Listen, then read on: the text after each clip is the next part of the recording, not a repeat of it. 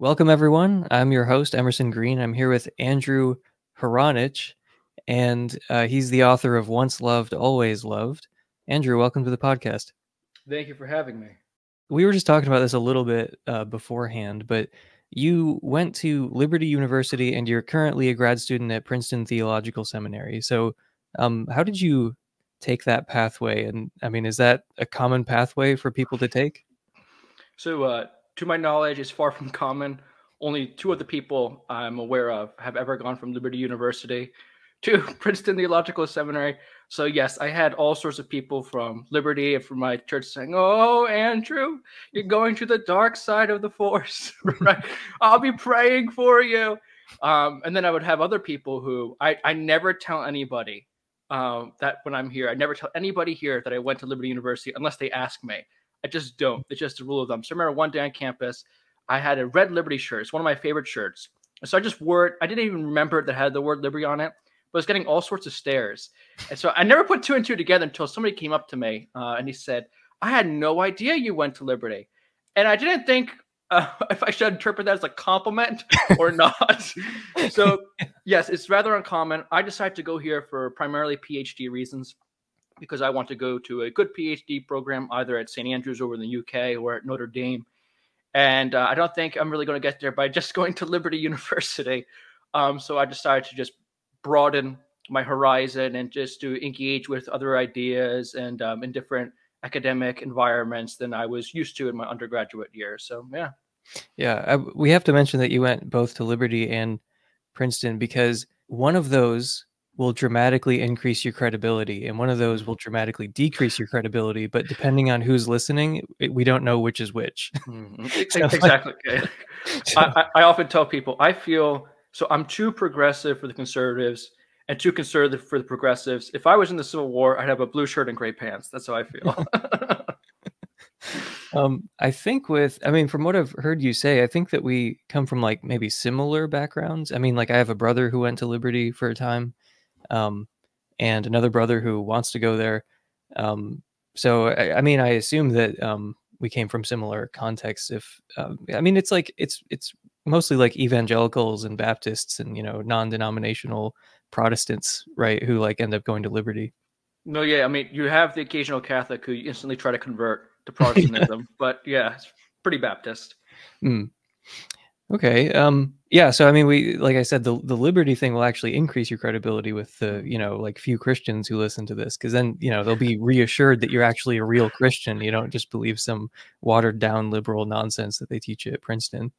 No, no, yeah, that was a big thing uh, when I wrote this book. Was um, I wrote this book while I was at Liberty, and so I had a, I came to the dark side in regards to universalism while at Liberty University.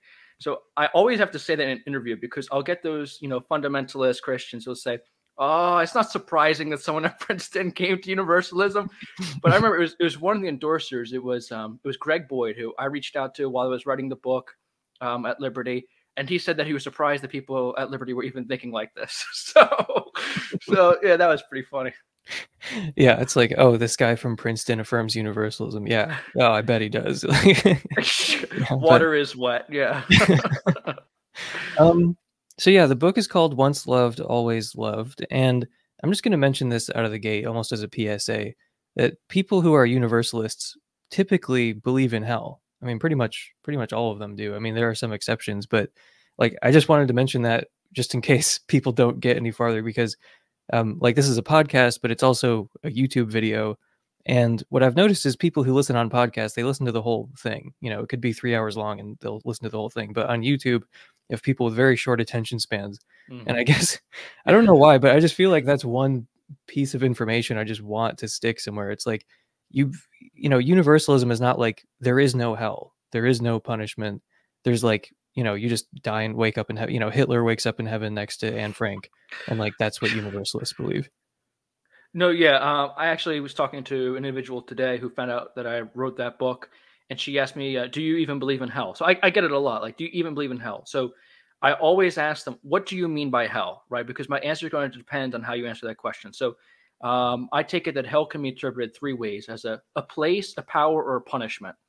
So there's certain people like Eleonore Stump, and usually in the Catholic tradition, or um, Paradise Lost, John Milton, he gives this idea. Even you'll find C.S. Lewis that hell is not so much a place as a power. That hell's they talk about hell as being actually um, in this world trying to render heaven and earth asunder, right? So what they mean by hell usually is what other Christians mean by evil or sin. So it's quite strange when those people they call it hell. Like Satan says, "I am hell" in John Milton's Paradise Lost. So if someone says to me, "That's what I mean by hell," I like Joshua Butler Ryan. Uh, that's what I mean by hell. I mean that hell is a power that tries to separate us from God. I say, well, okay, then yeah, I believe in hell, right? I believe such a power exists. If they say, well, no, I don't believe that hell is a power. I think hell is a place, right? Hell is a place of punishment, post-mortem punishment. I say, well, golly, I believe in that too, right? And they say, this is the last one that I don't believe in. They'll say, well, I think that hell is a punishment, meaning hell simply is infinite punishment. And that seems to be how the Catholic Catechism takes it when you read it. It just seems that hell is infinite punishment. So if that's what you think that hell is, that's the only case in which they'll say, no, I definitely don't believe in hell. And they'll follow up by saying, but good news, the word nowhere appears in the Bible.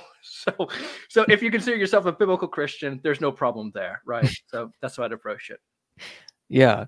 No, I mean, for some people, that just sort of is Christianity, that like maximalist version of hell. Like some people exist in this place of punishment forever and there is no escape and it's completely torturous and you get there for believing the wrong things and like that's just the end of the story for you know quite a lot of people maybe the majority of people and like for a lot of people that just is christianity mm-hmm. and for me it's like well you know as an atheist that makes my job i guess insofar as i have a job as an atheist like that makes it really easy to make my case because like i can borrow stuff from your book. I can borrow stuff from David Bentley Hart. I can, you know, I can make these arguments against, you know, theism, even though it's not really against theism, but like I can make arguments against your conception of theism and Christianity, you know, and this has been offered by other Christians, you know, because like the traditional view is like, uh, I don't know, I just think it's like obviously wrong. It's it's weird because, you know, like when I retrace my steps, and this is part of why I relate to David Bentley Hart so much because he says that this is, would have happened to him if he didn't know that universalism was like a part of the tradition. It's like you kind of make that conflation of like Christianity with specific doctrines that are believed by many Christians, and you end up saying, well, that that's obviously not true. That can't be true. Um, it's like internally incoherent. It's like morally and rationally incoherent, and then you end up just kind of walking away from it. I, I mean, Randall Rauser put it this way one time: like that's a theology that's like uniquely vulnerable to refutation hmm. if you want to set up this picture of the world where you have to believe the right things. If you don't believe the right things before the end of this life, you will go to this place of eternal, torturous punishment forever, and there is no escape. Also, God is perfectly loving and just and merciful. That's incoherent. um, so, do you do you agree with that basic sort of moral case? Um, you know, there's sort of a moral case, like, look, the kind of hell that a lot of Christians believe in, it's not just, it's not merciful. It's not what a loving father would do. Are you persuaded by those kinds of moral arguments, and did that factor into your conversion to universalism?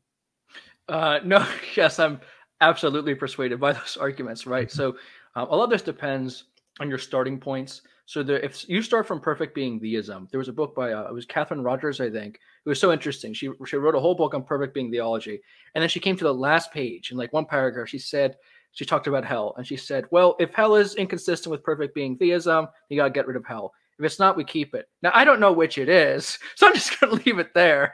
And people like David Bentley Hart are like, oh, I'll tell you which one it is. Right. So, so yeah, I think there's a lot to be said for our moral intuitions. I think a lot of times what happens is there are people who um, it's a certain view of scripture, right? So they'll come to a certain view of scripture where they think this is God's literal word, right? Like word for word, this is God's literal word. It, the text clearly says this. So even though I don't like it, I'm just going to go with it. That seems to be what a lot of Calvinists I may think, like J.I. Packer, is it's a terrible thing, but the text says what the text says. But then you have this cognitive dissonance where if you examine perfect being theism for enough, you say, well, this seems to go against the idea of perfect being theism. Just like, do I go with the text? Do I go with the concept of perfect being theism? So yeah, it, it's definitely a problem for some people. Now, I remember when I was a part-time apologist, I hate to admit it, but I was. Uh, when I was a part-time apologist, a question I would get a lot from parents was that about hell. And uh, I remember one mother, she reached out, she said, you know, uh, I think it was her son who asked her one night, she said, How could a God of love ever send somebody there? Now, I've been prepared with C.S. Lewis's answer. Oh, don't you know? God doesn't send anybody there. They send themselves. Oh, how convincing. Yeah, the doors are locked from the inside and they just never leave. The doors are, yeah, absolutely. Yeah. Oh, what a great God. And I remember for the first time, it just like hit me like a ton of bricks thinking through it. I thought, you know, this is just so unconvincing to tell a mother. and so I couldn't bring myself to tell her it. Um, and then, sure enough, a couple uh, weeks later, I was tasked with answering a universalist to a, a universalist reached out and said, here's a bunch of arguments against the traditional view. Now, actually, his arguments were quite terrible, uh, but I agreed with his basic moral intuition. I think that's what you see with a lot of universalists is there's just a basic moral intuition that God is not worse than Hitler. Like as you put it before, he's just not worse than Hitler, and this makes him worse than Hitler, right? Mm-hmm. Yeah, I mean, people who are suffering in that that um, like Christian sketch of things where it's like people are you know undergoing torture essentially that never ends and there's no escape like mm-hmm. it, you know as someone in hell in the fullness of time is going to suffer far greater than you know uh, all the suffering that happened in the holocaust and like um you know like it just seems like pretty obvious that god is not worse than hitler it seems like you should kind of like Moorean shift away from any understanding of god that makes him uh mm-hmm. you know is constantly committing atrocities and like just some kind of semantic wordplay about like mm-hmm. you know it, it's just not going to solve the problem and it seems like that's as far as most evangelicals are like willing to go like a lot of christians who want to defend the traditional view they just want to like you know make some changes around the edges to our language as if that's somehow going to actually solve the problem of this mm-hmm. like you know basically there, there's like nothing even to compare it to if you believe in this like maximalist version of hell and like maybe we should move you know across the landscape to some of the more defensible versions of eternal conscious torment or maybe like annihilationism or something because this like you know this maximalist view is just it's so easy to beat up on mm-hmm. it's just so obviously wrong yeah uh, there's there's a couple things that you said there that are really important so the first thing I want to address is the traditionalist view, quote unquote. Now, it's always interesting because those who usually say, "Oh, I'm a traditionalist. I hold the traditionalist view," hold nothing like the traditionalist view in history. All right, so what they usually hold is to a C.S. Lewis type of hell, which you won't find in Augustine. You're not going to find it in Tertullian. You're going to find it in the early church fathers. You won't find it in Father Furnace. You won't find it in Thomas Aquinas. You won't find it in Basil. You won't find it like anywhere in the early church. So you start to scratch your head and wonder, how can they claim that this is the traditional view? What does it have in common with traditionalist view? Well, the only thing that it seems to have in common really is that people will be punished um, forever. That's the only thing it really has in common. But uh, there are quite different. Uh, there are big differences between C.S. Lewis's view and the view that you see in the early church. For example, um, do we interpret the images of fire and darkness literally, or are they metaphors? Now, I think it's really interesting if you look at people like J.P. Moreland and Lee Strobel and William Lane Craig that say these are obviously metaphors. Really? But what makes you think that they're obvious metaphors? Like when we look at other Jewish texts and it seems that they're taking language of fire literally, why should we take this metaphorically? And I think it's obvious is because of their moral intuitions. But I'd like to point something out. So I remember reading a book by R.C. Sproul in which he was talking about hell, and Sproul said that um, you not partaking in the beatific vision at any moment is a far greater punishment than enduring physical flames. So this is really interesting. So okay, me not partaking in the beatific vision is a greater punishment at every moment than me enduring flames. Yet it people like Craig say it is inconsistent with the good nature of God to inflict literal flames. So wait, so wait a minute. It's inconsistent with the goodness of God for him to inflict a lesser punishment than a greater one. This is just bizarre. So I don't really hear any good argument for thinking that language of fire and darkness should be interpreted metaphorically. These are people that they're just really trying to avoid what are obvious moral intuitions, right? Um, so what they'll usually say is, well, you know, fire and darkness, they can't coexist. Seriously, have you been camping before? I, I, you know, I, I don't mean to be too sarcastic, but come on. Fire and darkness exist in my fireplace, let alone a campground. Um, so I guess what they mean is just like in an absolute sense, but that's not even true. Like we know of flames that don't emit a light, as Chris Date has pointed out, and other people before. So th- this is just, it's just really bad. If they're operating from moral intuitions, and this is affecting their exegesis. So that's one thing I'd say is how can you call yourself the traditionalist view if you really don't hold much in common with the traditionalist view, right? So um, that's one thing is I challenge their view being the traditional view. Then there's also the language of torture right? So you'll hear people, oh, it's it's torment. It's it's not torture. yes, it's torture. It's torture. and so because they'll try to say, well, it's not torture because it's God's not inflicting it upon them; they're inflicting it upon themselves. But yet, God intends this as a punishment, right? He intends their self-infliction upon themselves as a punishment. So mm-hmm. if you are prone to think, like many sane people, that solitary confinement is often used as a punishment, then why don't you think that and some people think that it's also a form of torture too, then why don't you think that this as well meets the criteria for being torture? So, no, I think it is torture. I don't think you can just get away with saying torment. So, those are two things I want to say. One, I, tr- I challenge the idea that the C.S. Lewis view is the traditionalist view. And two, I would challenge the idea that this is just simply a metaphorical interpretation that is valid based on good exegesis. Yeah. Yeah, I mean that's kind of what I was alluding to with some of the word games where it's like, well, you know, God's not doing it to you. Like God's not torturing you. Um it's just like, yeah, that doesn't that doesn't solve the problem. Or they'll say like, oh, it's not like this cartoonish thing with like, you know, Satan with like a pitchfork or something. And it's like that was not the problem that I was getting at. like uh yeah. but you know, I mean, I asked earlier like, you know, do you find these kind of moral arguments convincing? And it, it sounds almost like a joke because it's like, what else would it be?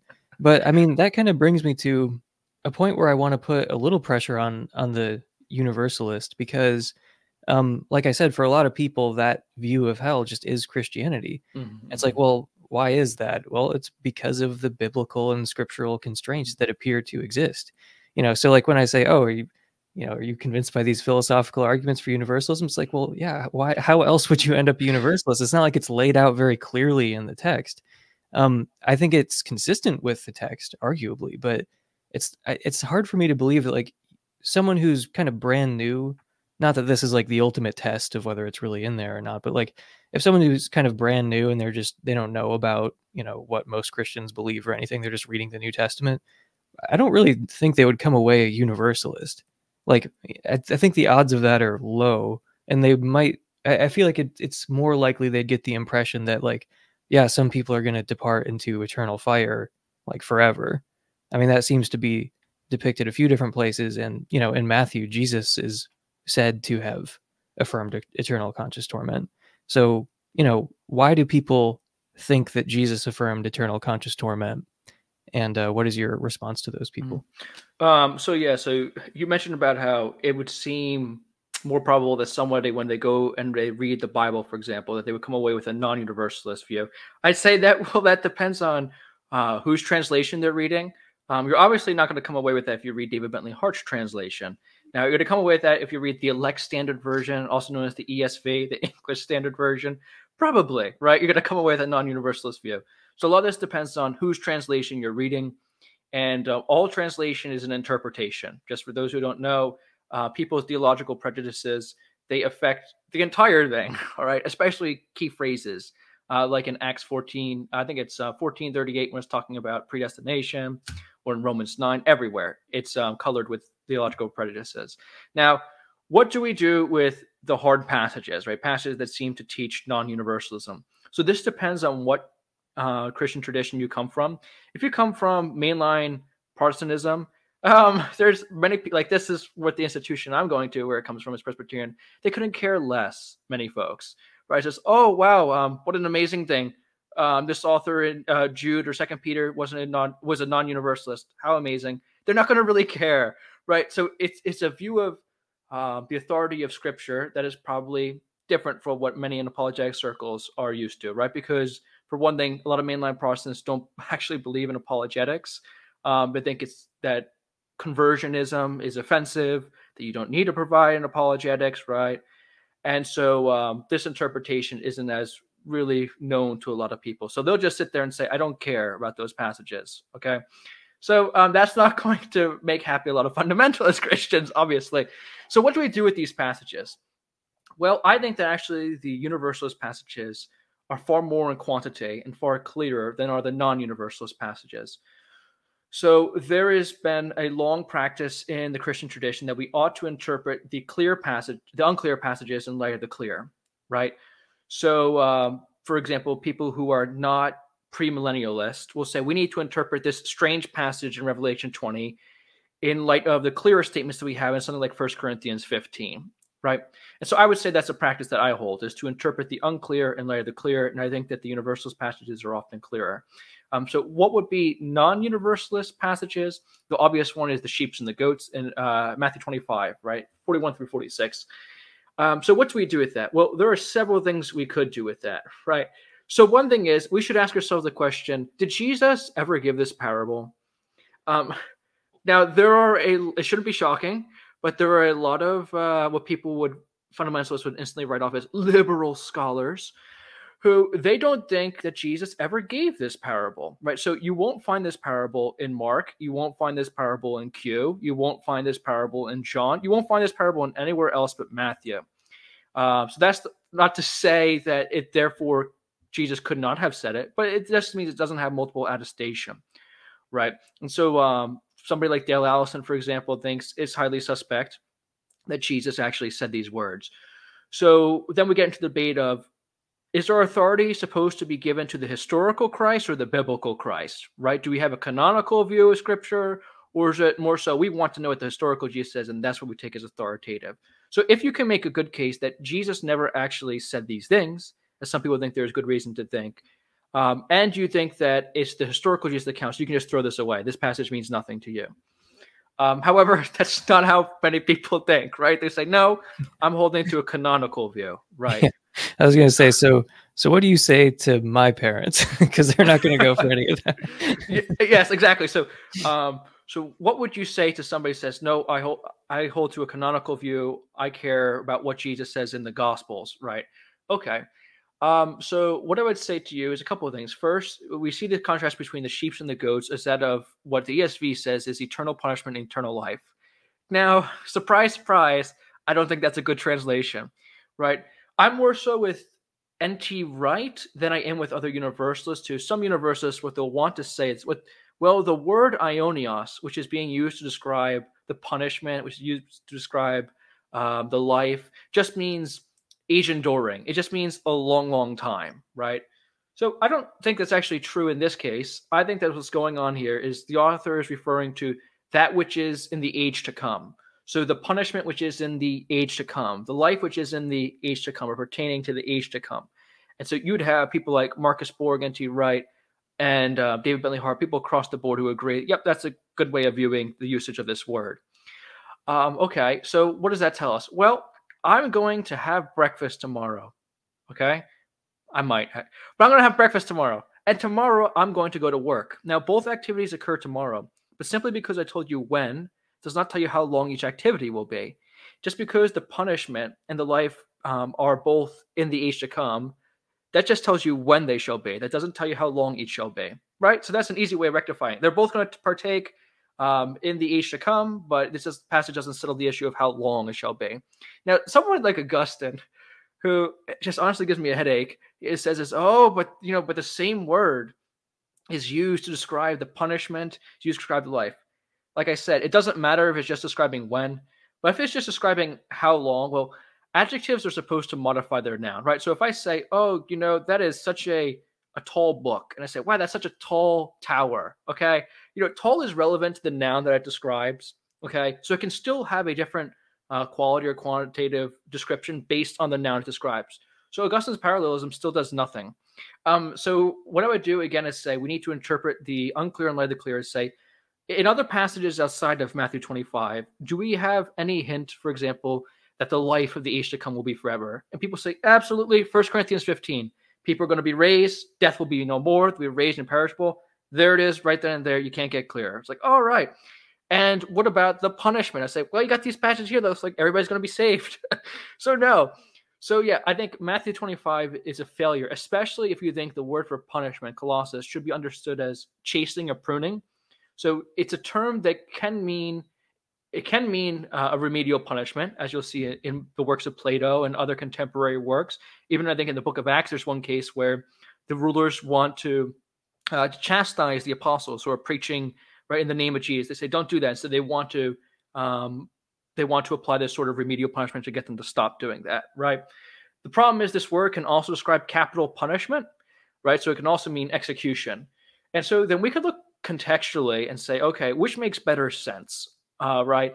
Does a remedial punishment make better sense or capital punishment? Well, uh, the individuals, the goats are being described, the word language that's used for them is immature goats. That's literally how they're being talked about as immature goats. And there, even the description that the story tells is that of immature. Like, oh my gosh, when did we see you doing this? So we had no idea. And the answer is capital punishment for you, right?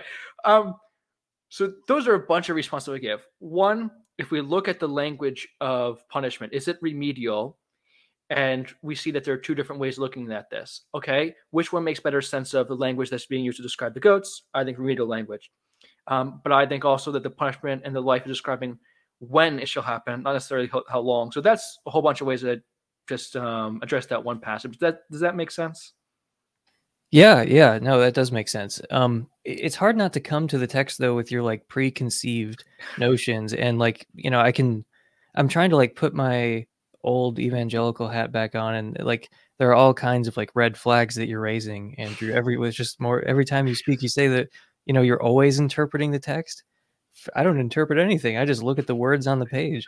Um you know so i mean those kinds of like naive views about it's not even about the bible it's just about like reading texts. Like i feel like that's almost a separate conversation where i like have mm-hmm. to convince them that there's some amount of interpreting that goes on like whenever you're reading a text you can still respect the author and authorial intent and all that and still mm-hmm. recognize that like you know you are going to have to do some interpreting and you know the other thing is that the text is you know famously pretty underdetermined like especially like scriptural you know scripture and you know the biblical texts like you can interpret them in many many different ways and mm-hmm. it's like for me that's why I've, I've thought if i was a christian um, then I would I would have to rely on like moral intuition more than you know this kind of vague text that I'm reading in a different language than it was written. It's like I you know if I'm a Christian, you know I think that God designed my moral and cognitive faculties and like I mean why would I think as a Christian oh yeah you know those moral intuitions that god gave you? You can't trust those. He put those in your head and they are utterly deceptive. Like you can't trust so like i mean something that seems pretty clear like you said interpreting like the unclear in the light of the clear. Well something that's pretty clear within the christian tradition is that we're supposed to understand god as some kind of father. Like we're supposed to un- we're supposed to understand our relationship to god through the analogy of fatherhood. Mm-hmm. and um i think if you take that seriously you know like assuming that that's not intended to be deceptive or misleading but intended to help us better understand the relationship that we're supposed to have with god if you start taking that seriously, then eternal conscious torment is just out. It's just off the table. Like no no father would like you know would allow their children to be consigned to eternal conscious torment. Like what rule wouldn't you break to prevent your child from having that kind of eternal fate? You know, but um I, I just think like I'm kind of of two minds here because on the one hand, I want to defend universalism because I'm this kind of like conditional universalist, I guess, where I'm like, you know, if, you know, given these assumptions, like let's just say God exists, you know, perfect being theism is true. Well, then something like universalism is probably true. Let's say something like Christianity is true. Well, then universalism pretty much has to be true. Um, you know, like I, th- like that is the opinion I hold, and it's not the same opinion that every atheist has. So it feels like, yeah, I should, I should defend universalism because, um, uh, I mean, it seems true to me, you know, conditional on these these other these other propositions. But then on the other hand, I kind of think like if Christianity can't like support universalism, if Christianity is committed to eternal conscious torment, then so what? Like then that just means Christianity is not true. Um, so I mean, I feel like a lot of Christians who aren't on your side are kind of shooting themselves in the foot. Like they really are like, no, you cannot be a universalist and a Christian. I'm like, okay, like, um, it's not really my problem. But I mean, you know, they're kind of, you know, if I ever am going to return to Christianity, they're just delaying my return every time they make a good point where I'm like, oh yeah, you can't be a Christian and a universalist. But I mean, obviously, I, I, I think you can be a Christian and a universalist, but I just I don't understand why people are are so committed to um to arguing that that, that you just can't be a Christian universalist. Yeah, I think it was um it was Charles Darwin who said that he doesn't understand why anybody would wish that Christianity would be true because then it would mean that his family members and his friends are headed to a place of eternal punishment. And Bertrand Russell also said that um, Jesus had one moral flaw, and that was that he believed and taught in hell. Right? And so instead of correcting Bertrand Russell, say, well, you know, Bertrand, uh, well, you know, Charles, there's another way of looking at these passages and, and mm-hmm. interpreting um, the Christian tradition as a whole on this issue. And that's holding out hope to those people. It's like, you're darn right, and you're going to hell forever. Um, so I, have often asked that tradition. I said, when you're evangelizing to people, because this happened with uh, Ignatius of Loyola when he went to the Japanese culture, and these were people who they had very deep uh, reverence towards their ancestors. They were told, "Yep, they are roasting in hell," and, and they said uh, they gathered together and they went back to Ignatius and they said, "Is there any hope for them? Like, is there anything we can do to help them?" And um, they had tears in their eyes that Ignatius consulted other people and went back and said, "Sorry, no. I mean, there's nothing that can be done." And uh, some of them rejected Christianity on that basis. Now, I think this is amazing. I mean, why can't we, when we're evangelizing, admit that you know there's another way, right, of looking at this? It kind of reminds me of uh, John Piper, who is, of course, a famous Calvinist, but he said that uh, one time he interacted with a lady who she just couldn't bring herself to believe in Calvinism, right? And she said that if she became convinced that Calvinism was true, she'd have to leave the Christian faith. So what John Piper says, all right, then don't believe in Calvinism, right? It, it's more important that you uh, maintain your faith in God and your relationship with Christ than that you believe in Calvinism. And so she became an open theist, and he had no qualms about that. Now, I would think that, well, can't the logic also apply to this with universalism, right? And I don't even know what the fear is. I think I think what the fear is is um, is sort of like a Pascalian wager. Is oh, but Andrew, what if you're wrong and you're leading people to hell? And so that's the assumption is that I, I guess is they're thinking that I'm going to um, give people the mentality that you can just put it off a little bit longer. But then I could also make the same argument about deathbed conversions. I say, well, but if you believe that people can just convert in their deathbed, I I've met people who said, you know, Andrew, um, I believe you know the Christian life is true and yada yada, but I want to live this certain way, and I still have time, right? So, so then you're gonna have to tell these people, actually, no deathbed conversions, right? You're not guaranteed that. And so um, I don't know if you know, but there are Christians who exactly argue that. They say, "Yep, deathbed conversion is not allowed. It, it, it can't happen." right. So, um, so yeah, I think, like you said, they wind up shooting themselves in the foot.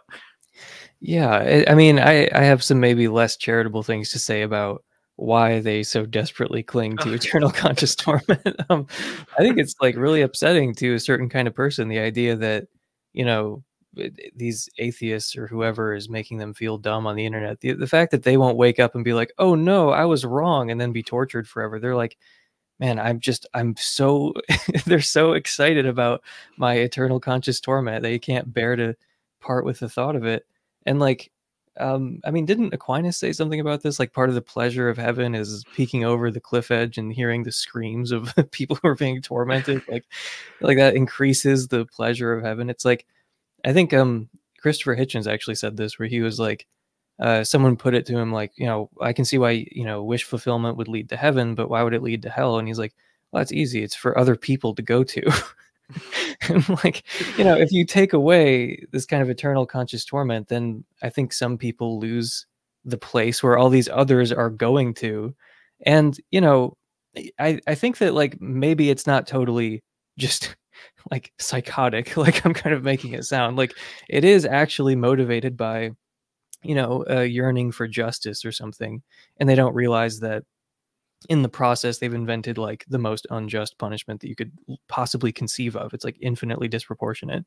Um but still it's motivated by like oh i i don't want to think that like hitler just got away with it or something.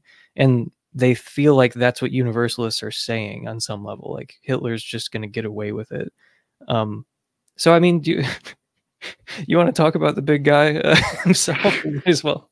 I mean, sure. like, so Hitler yeah. is he is he going to get away with it? I mean, we already mentioned he's not just going to wake up in heaven one day. So, I mean, what are you comfortable, Andrew, with Hitler being in heaven alongside Jews, or like a rapist in heaven alongside his rape victim, or you know, people give lots of examples of this kind of thing. So um, yeah, there's an old saying in Universalist uh, list circles that there's only so many words that you can say before Hitler's name comes up, right? That's just the case. Um, but but this is yeah. So this is an important issue because there are some people who say that Universalists lack empathy, right? Um, and I think that certainly some do, right? The way that certain things are worded, it almost comes across to victims like, get over it. They're going to wind up there, move on. And yeah, it, it, can be really harmful towards certain victims, right? So yeah, what should we do with people like Hitler? Well, I think that John Hick was really helpful here, in which uh, in the Brothers Karamazov, of course, there's a famous scene with Ivan, uh, and I think it's his brother, and they're arguing uh, together about the problem of evil. And uh, John Hick actually comments on that passage. He says, you know, what Ivan is missing is that these evil people that he's picturing, when they'll be in this state of eternal union, it's not like these people still have a wicked character, right? And they're all just kumbayaing together. I mean, these people have been transformed in their character, right? So somebody like Hitler, what would that mean for him? Well, it would mean that somebody like Hitler would develop such a character that he would be unable to perform those acts, right, that he committed in his earthly life, that he would look upon those acts with scorn and see them for the wrong that they were, that he would love his Jewish neighbor with all his heart, soul, mind, and strength, that he would love Jesus, and you know, he would love God with all his heart, soul, mind, and strength, um, and as himself, that he would do this, right, that he would seek union and forgiveness from the Jew and from God and then the traditionalists rise up and say, "No, get get thee back to hell." Um, this is really weird because this is somebody who a traditionalist would say, "Well, as long as he did all that prior to death, he would be good." But one second after, it's no good. It's like, well, why? Why? What make what makes it that? So I think it's because a lot of times when people frame the question of Hitler, they don't think of a reformed Hitler. There was an interview with Melissa Dougherty and Clay Jones, which was very uncharitable towards universalism, and they said, oh my gosh, in universalism, you'll have a rape victim having to be in heaven with somebody who's not even slightly uh, remorseful for what they did. And that's just a caricature. I don't know if any universalist who believes that. Many universalists uh, believe that they'll have to be go through the fires of hell, so to speak, that they'll have to be purged of that sin, that all those impurities will melt away, right? So this is just ridiculous to claim that these are people who aren't even slightly wrong for what they did in heaven. So I think that's many times what's missing is people just think, okay, Hitler's in his bunker. Okay, he's in his bunker. Shoots up, and he's in heaven in his mansion. Okay, I, I, there is no universalist in the relevant literature who argues that way, right? So yeah, it's just a character at the end of the day. And I mean, it's funny because when you start pushing back and be like, can, can you explain why Hitler doesn't deserve to be in heaven? Like even after he's undergone like all this moral, this painful moral transformation, you know, over the course of who knows how long. It's just like, can you can you explain why like he he wouldn't? And it's like they start undermining like the basic Christian message where they're just like, well, he doesn't deserve it. He doesn't deserve salvation. What did he do to deserve it? And it's like I thought none of us deserved it. like I thought like that was sort of the point of grace was that you know like we we actually don't deserve it. And then now we're looking at a, at a guy who you're like, yeah, yeah, yeah grace, whatever, but he really doesn't deserve it. It's like the prodigal son returned from mm-hmm. uh, the far country. That you know he reforms his character. He's sorry for all that he's done. He looks for deeper communion with his father. His father says, "That's great, son. Now there's a great spot for you in the servants' quarters over there. We're gonna." You know, it's like, no. I mean, the heart of the father is, you know, welcome home, dear prodigal, right? And, and so it's a, it's a very strange uh, view with the the traditionalists that, well, he, you know, he may be even if he is reformed uh, his deeds just can't be forgiven, right? They're beyond forgiveness. It's like, and yours aren't. Like C.S. Lewis talks about this. So, so in other words, your sins deserve forgiveness, but theirs don't. It comes yeah. down to it. yeah. Again, it seems like it's kind of a basic part of the Christian message that like we've all sinned. Like none of us really deserve what, um, you know, no, none of us really deserve salvation um, it's a gift freely given like it's just it's just like sunday school stuff that like suddenly just goes out the window just to defend because this precious precious belief that people will roast for all time needs to be defended there, there's an old parable that um, so there's a bunch of people standing before the pearly gates and they and they got their golden tickets right oh willy wonka uh, they got their golden tickets they're standing there and then a rumor starts to spread that god has decided to forgive the others too and the people are furious they stamp their feet. They gnash their teeth.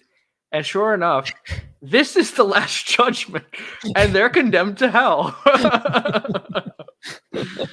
oh, that's pretty funny. I, yeah, I, I um, I was recently thinking about the book of Jonah, and um, I couldn't remember the book, but I could perfectly remember the Veggie Tales episode about Jonah, and uh, I just like I thought about it and then I went back and read the story. It's a really short you know chapter.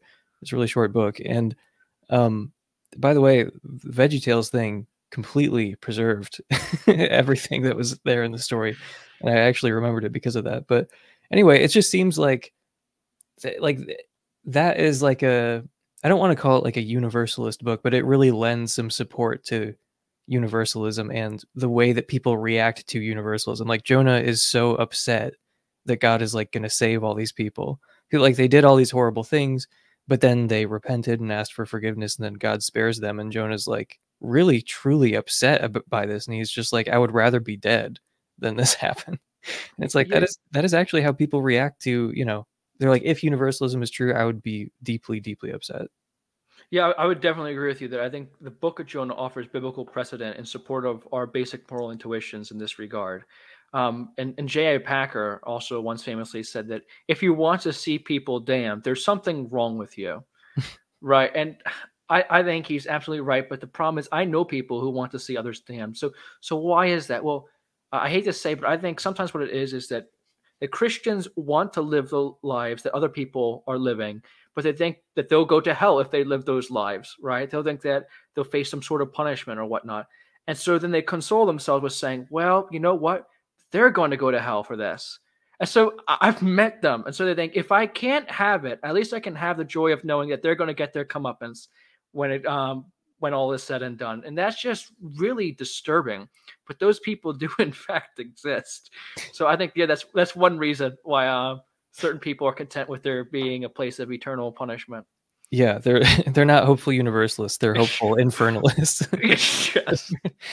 um, but you know, we we mentioned um, punishment quite a few times, and it seems like you know the role of punishment, if you are like you know a loving father, it, it seems like the ultimate goal of punishment.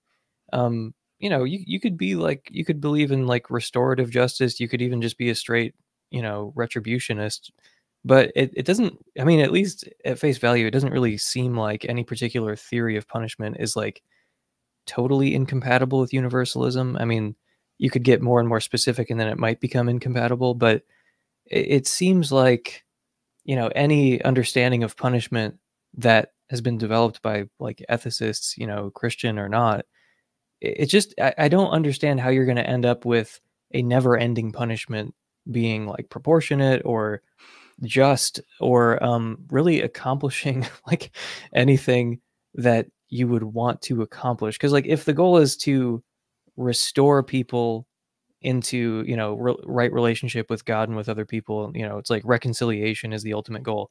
Well then obviously you should be a universalist. But even if you think like well look this person did something wrong and they just deserve to suffer and there's no other explanation there's no other reason like they just did a bad thing and now they deserve to suffer it seems like you could still be a universalist. Um, like uh, yeah it just seems like whatever role you think punishment is supposed to play um, I don't understand how if you're concerned with justice and you're concerned with um, you know the, the things that you should be concerned like Eric Reitan makes this point about like okay what's like the christian understanding of punishment? And once he uh you know finished writing all that stuff I, I forget what the project was exactly but once he finished writing about you know what is the purpose of punishment in the christian worldview he's like well i'm, I'm kind of forced to be a universalist no, yeah, I remember um, interviewing him a couple years ago, and he, he, he told me that um he presented that paper that you're talking about, and then somebody asked him right after, said, "Okay, so so um, how do you think this affects your view of the Christian doctrine of hell?" And he's like, "Oh, I didn't even really think about that." but um, yeah, so his book is um, called God's Final Victory, and I'd encourage people if you haven't bought that, buy that after you buy my book. But you know, buy my book first. Now, you're right. So it it's just really hard for people to try to justify uh, the justice of an infinite punishment. So this is the interesting thing: is that a criticism that non-universalists often offer against universalists is, "Oh, universalists are all about God being a God of love, a God like here's the trump card: God is also a God of justice." Yeah, another reason why I'm a universalist because I believe God is just. I believe the alternative is enormously unjust. So it, that is no trump card. So I see it all the time. It's like universalists forget that um, God is a just God, and then He can't let wicked people get away. How do you get from God must punish wicked people to God must punish wicked people eternally, right? It's a strange thing.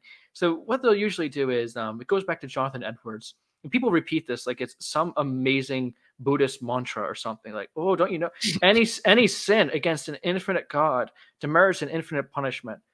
Okay, uh, I, I go into depth in the book why this is just utter nonsense. Okay, I would use a different word, but I hope this is a family friendly channel. uh, utter nonsense. Mm-hmm. Um, so one thing is that this is argument is taking into account the status of the one offended against, not the one who is offended. Um, so that's just not how a court system works, right? Especially nowadays. So if I was to have, um, if I was to hit the president of the United States, okay, I was to go up and slap him, versus I mean, say, his head might cave in like a pumpkin if you hit this particular president. okay, yeah, that's, that's a good point. Um, don't think of the current president or the former one. All right, just think of the president abstract. Okay? Right, okay. I was to go up and hit the president. The six-year-old kid was to go up and hit the president. Would they treat the six-year-old kid as they would treat me? He would say, "Well, golly, no." So, wait, but we both hit the president. Mm-hmm. You know, so so we should get the same punishment. No, because there are other factors we need to take into account, such as culpability, intention, um, all sorts of the harm that was done. So when you look at all these things, it gets really odd. So you say, all right, harm that was done, harm that was done, harm that was done. Uh, if God is classically conceived, what harm did we do? Oh, nothing. Oh, wow. Um, okay. intention. Um, you know, what was my intention or culpability? So if you believe, like many Christians do in the doctrine of original sin, then we're born sick, right? So are, would we be as culpable as somebody like Adam um, on the Augustinian view? Well, even Augustinians will say, well, no, we're not as culpable as Adam because Adam had certain uh, preternatural graces that we don't even have in our current state, right? So we're less guilty than Adam. Okay, I'm sorry, we're less culpable than Adam, but we would we would get the same sin. It's weird because in the Bible, different sins are prescribed different punishments. So um, people often like to quote, like you hear all the time from traditionalists, like, "Oh, don't you worry, um, that Buddhist monk who oh was so kind to the poor, he'll get less beatings than Hitler. Mm-hmm. God is a God of justice." It's like okay. Um, so that's interesting. What they're getting that from is the Gospel of Luke, where the Son of Man returns from the far kingdom. He comes back, and there's um, servants who they have, are differing culpability. You know, and it says that one servant gets more lashes than another. It does not say, and one of them got an endless drubbing. it doesn't say that. Um, so yeah, so the the infinite argument, what it would seem to mean is that if any sin against an infinite God demands an infinite punishment, they seem that all sins are therefore equal. Uh, but they're just not. If you read the Bible, it speaks about uh, there is sin that leads to death, but not all sin leads to death. Or there is the what some people have interpreted as the, the unpardonable sin. I mean, there's so many that demand different punishments in the Old Testament that are merited out. So it just seems clear that no, not all sin is equal, right? Uh, so they say, well, you know, there's different degrees of infinity, and this is like, oh my gosh, right? So no, that argument is utter nonsense. And then what they'll try to say, like someone like Mike Winger, it's like, oh, I had a new revelation. Isn't this amazing? New revelation. Yeah. People in hell keep sinning. And so they keep getting punished for it. Oh, now I can go to bed at night and think, mm, I solved the problem of hell. It's just ridiculous. Um, so I, I could go on, but I, am curious what you think about all that so far. Yeah, I mean, I love that response of, of like, well, I mean, you committed sins against an infinite God, and it's like, well, I mean, it it feels like I lied to my mom. I don't I'm not sure where God enters into it, but I I accept that like I mean it feels like that's something between me and this other moral agent. I don't directly see how God's involved, but even just assuming that he is, why would God's property of, you know, okay, so he's infinite in some respect, um infinite in power, I guess, in knowledge and goodness. It's like, okay, so he's infinite in a few of his attributes or properties. And it's like, for some reason, when I commit a sin against him, aka lie to my mom something about his nature you know it, it like grabs onto my sin and then now my sin has the property that he had it's like okay well it's not like my sin is now trinitarian in nature because i sinned against a trinitarian god but for some reason my sin is infinite now because i committed it against an infinite god i literally cannot follow the train of logic there like how that is even like metaphysically supposed to work or like logically supposed to work. It makes zero sense to me at all. So William Lane Craig is like, well, actually, rejecting God is a kind of medicine, um, and it's like super duper bad. so like you know, Hitler's not in hell because of the Holocaust. He's in hell because he rejected God. If he rejected God. Um, he might not have. In which case, that horrible scene we were outlining earlier, that would actually be the case on the model of like you know the the way that some Christians view Christianity. That stuff happens all the time. The rapist and the rape victim going to heaven, and they just wake up there. And there's like there's no you know purgatorial process of like growth or development or anything. They just like the thing that they are accusing universalists of believing, which they don't. They actually do believe. They're like, yeah, these like these horrible people are just unreformed, going to end up in heaven. Um, yeah. So there's that thing, but um, I kind of lost my train of thought about uh, Hitler and, and the Jews because I'm like, well, I mean, neither of them are going to heaven according to to most Christians. So you you suffer in the Holocaust and then you die and then you go to hell. It turns out the Holocaust was just a warm up for uh, the true horrors that awaited you. So, so um, this is something that I usually do with people, where so they'll just throw out the word infinity, infinity, infinity, right? Mm-hmm. It's, a, it's a small word, so that's why I don't think people really take it seriously. So, so what I usually do is this: I said, okay, I won't put the thing into perspective. All right, okay, okay, okay, I, I get it. All right, so you have this individual. He dies in a state of um, separation from God. Okay, so he goes to hell. So, so he's in hell. So 15 million years later, he, he's there. And six billion years later, he's there. and 23 quintillion years later, he's there. And 156 trillion years there. By golly, he's still there. And 52 quintillion years later, he's still. And, and when I usually do, and I keep on going on for like 30 seconds, people start realizing, oh my gosh, what is the point anymore? what on earth is the point? So it's, it's they don't get that when you just say infinity. They mm-hmm. don't. Okay. So I found that really, really helpful. Every time I do that, the person when I do it to is like, oh man, that sounds awful. Mm-hmm. Another thing I'd like to point out, like you were pointing out, um, when someone says sin against an infinite God, it's like, well, what part of being infinite makes it that you need to um, to be punished infinitely, right? So there's some part of God. Is it he's infinitely old? And it's just really wrong to sin against old people, especially really old people, right? So it's like, okay, so it's it's, it's worse because my grandfather is older than my mom for me to sin against my grandfather because he's simply older right? Um, okay, that doesn't seem to be biblical. Like, oh well, no, it's because um, God is so good. He, he's more good than anything else. It's like, okay, so if I was to steal from a baker, and turns out this baker is a sleazeball, right? He's um like a Christian. What would Christians say to sleazeball? Oh yeah, he's a he's a potty mouth. He watches porn. He sleeps around, stuff like that. And it's like versus um, I was to steal from a different baker. Oh, he's you know who's just a, an amazing, nice, charitable person, right? Gives away money to uh, poor folks and all that goes to church and all that. And they go to a court of law and say, Your Honor, I deserve a less punishment than if I stole from uh, this Mother Teresa over here because this guy's just a sleaze. Would any judge really take that seriously? The judge like, Are you kidding me? Right? So we're not punished more severely in a court of law because the person that we sinned against was of a better character than another person had we sinned against them, right? So that seems really odd too. Um, then people will say, well, you know, it's because if I was, like I said earlier, if you were Andrew were to sin uh, against, um, let's say, a judge, uh, for example, that's worse than if you were to sin against your little brother. Now, that sounds really profound until you think about it for about 15 seconds, and then it's not too profound. You have to say, well, why is it that you are punished uh, more harshly for lying to a judge than lying to your brother. And that's because of the harm that is um, that you're able to do when you lie to a judge versus when you lie to a brother. Right? When when I lie in a court of law to a judge, uh, depending on the trial, there are high stakes. When I lie to my brother about little things, what on earth is at stake? So yeah, it sounds profound for about ten seconds, and then you think about it like, oh golly, you know, that's just not going to work. So yeah, so that's how I think about a lot of these arguments. They sound profound in the face, you sin against an infinite God, demerits infinite punishment. But there's really nothing profound about it. It's like saying that God is one hand clapping. Sounds profound, but it's really not. yeah, and I mean the way it presents God, like if he is, you know, if our sin of rejecting him or whatever our sin is that warrants um, eternal hell, like it kind of paints God in a different light than you were saying earlier, like the more classical conception where it's like, okay, what was the harm done to God when we rejected him? Well, nothing. Um, I mean, not to him.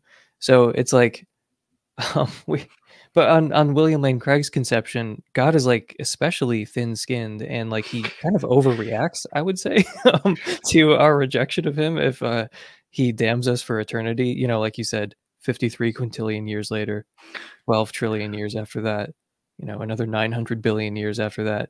And you're still just, you know, according to Mike Winger, sinning and just perpetually, you know, you never learn.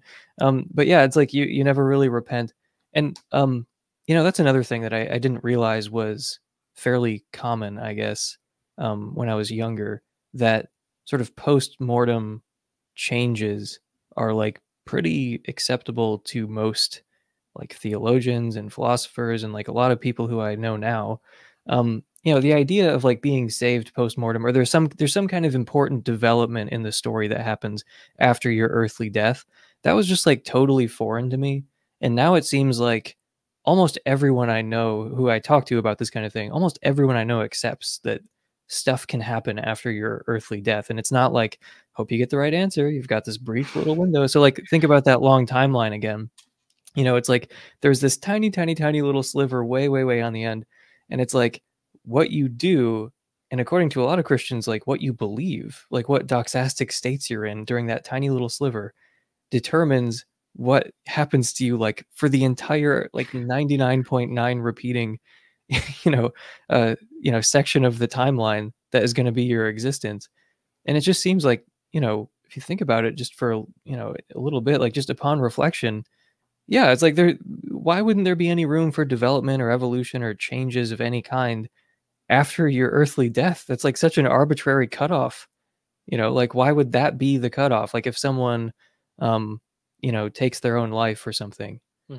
it's like why would that be okay well you know there was this uh you know teenager who takes his own life and it's like well that's the end of his story. You know like he's just going to be suffering for all eternity now. They're going to it's just static no changes no development no nothing. It's just the same thing forever now because of the choices that someone made when they were like a teenager. You know they've they've been a fully like cognitively aware they've passed the age of reason like only a few years ago and they made a decision that's just screwed them over forever? Like it just doesn't make a whole lot of sense. Yeah, um, so so there's a bunch there. So one thing I'd say is um, I'm reminded of a conversation I had with my brother-in-law, in which I made the point to him that even if it was that we deserved an infinite punishment, I mean, didn't Jesus pay for it according to your view? Like he he covered he, he covered the bill, and so um so if we re- are reformed, if we repent, the bills has already been covered, right? The infinite punishment has already been paid for. So it's not like God needs to enact it again. He's already got it. And if you repent, then God can just say, well, you know what? Um, Christ died for your sins. He suffered in your place. So come on in and join the, the gang, right? So even if a sin against an infant God demand, demerits an infinite punishment, so what? Jesus Jesus took care of it. So what? Let's move on. Um, so that's why I say the um, even if it was true, non-universalism would still not follow, right? You still have to prove that it doesn't. Now you said uh, postmortem repentance. Uh, so this is a really interesting conversation because some people who are desperate to not let universalism take place will say, well, yes, I'll allow for postmortem repentance, but even if you allow for postmortem repentance, it still doesn't guarantee universalism. Um, well, that's to be seen, right? That's to be debated, right? Can somebody really go on and on for trillions of years and uh, be enduring uh, suffering and great affliction uh, upon themselves and not seek out repentance. That seems very hard to conceive. Um, but so, yeah, so what do we do with the idea of post-mortem repentance? You brought up cases of suicide, which I remember a couple years ago, I knew four people who committed suicide in the span of about a month. And so this was a really personal thing. I've had uh, one family member who committed suicide, another family member who attempted. So it's, it's very personal. Now, in the Christian tradition, it was long thought that there's a special circle in hell for you. Haven't you read Dante? Um, now people have softened on this position because lo and behold, there's such a thing as psychology. right? We we study, we realize, oh my gosh, you know, there are mental diseases and afflictions that people face, right? Sometimes that are beyond their control. And so I think that people started softening on the idea of just people being damned with no um, choice or no option for postmortem repentance, right? In the case of people who have committed suicide, and they softened on that. Uh, but then I think they softened on a whole lot of other people. So I'm reminded of a story where I can't remember the name of a book, but it's a guy who he's going to be hung. And in the story, right, he's about to be hung, but the rope snaps. He gets away and has a grand old adventure. But at the end of the story, you realize the rope never actually snapped. Right? He was hung, but this was all going on in his head. So even if you don't believe in post-mortem repentance, you could believe in something like that. That at the moment of death is kind of like Harry Potter meeting Dumbledore in the Deathly Hallows, right? That um, you meet God at Hogwarts Station, and it could be um, as as long as it takes within that one moment for that person to be saved. So technically, it's not post-mortem repentance, and you can still have it. So even if someone says, "I'm not open to a post-mortem repentance," I can still say, "Well, what about this case? Well, what about near-death experiences? What about this?" But it's really interesting if you actually look at the scriptural witness when it comes to post-mortem repentance. So one of the first things that I do is I point out resuscitations in which certain people, right, they've been dead for a while and they're brought back to life, right? Um, so you have stories like this in the book of Kings where there's an individual who's tossed into the bones of Elisha and he's brought back, or both Elijah and Elisha. They raise um, people. You have Jesus, of course, uh, raises the widow of Nain's son. No, no, or that's Elisha. He raises a widow's son. Um, you have Lazarus, of course, who was brought back. You have all, all these people resuscitated, right? And so I, I like to ask people, okay, um, do you think that they were all in a salvific state before they died? Right. Uh, what what are the what's the likelihood that at least one of them wasn't? So some people could say, well, you know, there's just no way of knowing, right? And I was like, okay, but in church history, we do have accounts of things like this taking place, where the people are said not explicitly said not to be believers when they died, but became believers after. So, oh no, is God cheating? Is he giving these people second chances, not others? Oh my gosh, he's playing favorites. So that's usually what I'll start off with is the resuscitations. And so accounts where it seems like somebody was not a believer prior to death. And darn it, God broke the rules and gave them a second chance. What ought we to do with that? But there's one individual who it could seem, uh, we do have an example of scripture, was resuscitated when he died in a state of at least apostasy. So this would be Jonah.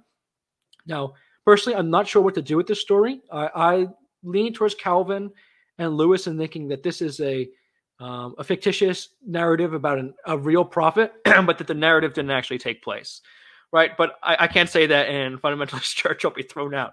So if you're going to interpret this story literally, then you have this problem that it seems like when Jonah is in the belly of the great fish that he dies, right? You have language that seems like he goes down to Sheol, euphemism for he dies. And it says that when the great fish spits him out, that um, Jonah's told, arise and go to Nineveh. Well, the same word that's used arise there is also used by Jesus when he tells the little girl, Talitha kum, I say to you, arise, right? To the little girl. And so um, then there's also a parallel between Jesus and Jonah, right? They're compared, right? Just as Jonah was in the belly of the fish for this long, Christ will be in the earth for this long. Now, the parallel makes a lot better sense if Jonah was in fact dead. And so there have been many Christians who believe that um, Jonah did die in the belly of the great fish. Well, this is really interesting. Uh, because if he did in fact die in the belly of the great fish, it seems pretty clear he died in a state of apostasy, right? But then God brought him back, and so then this would be a case where I'd look at this and say, you know, is God cheating, right, in giving this this really interesting individual a second chance, right? So you start with resuscitations.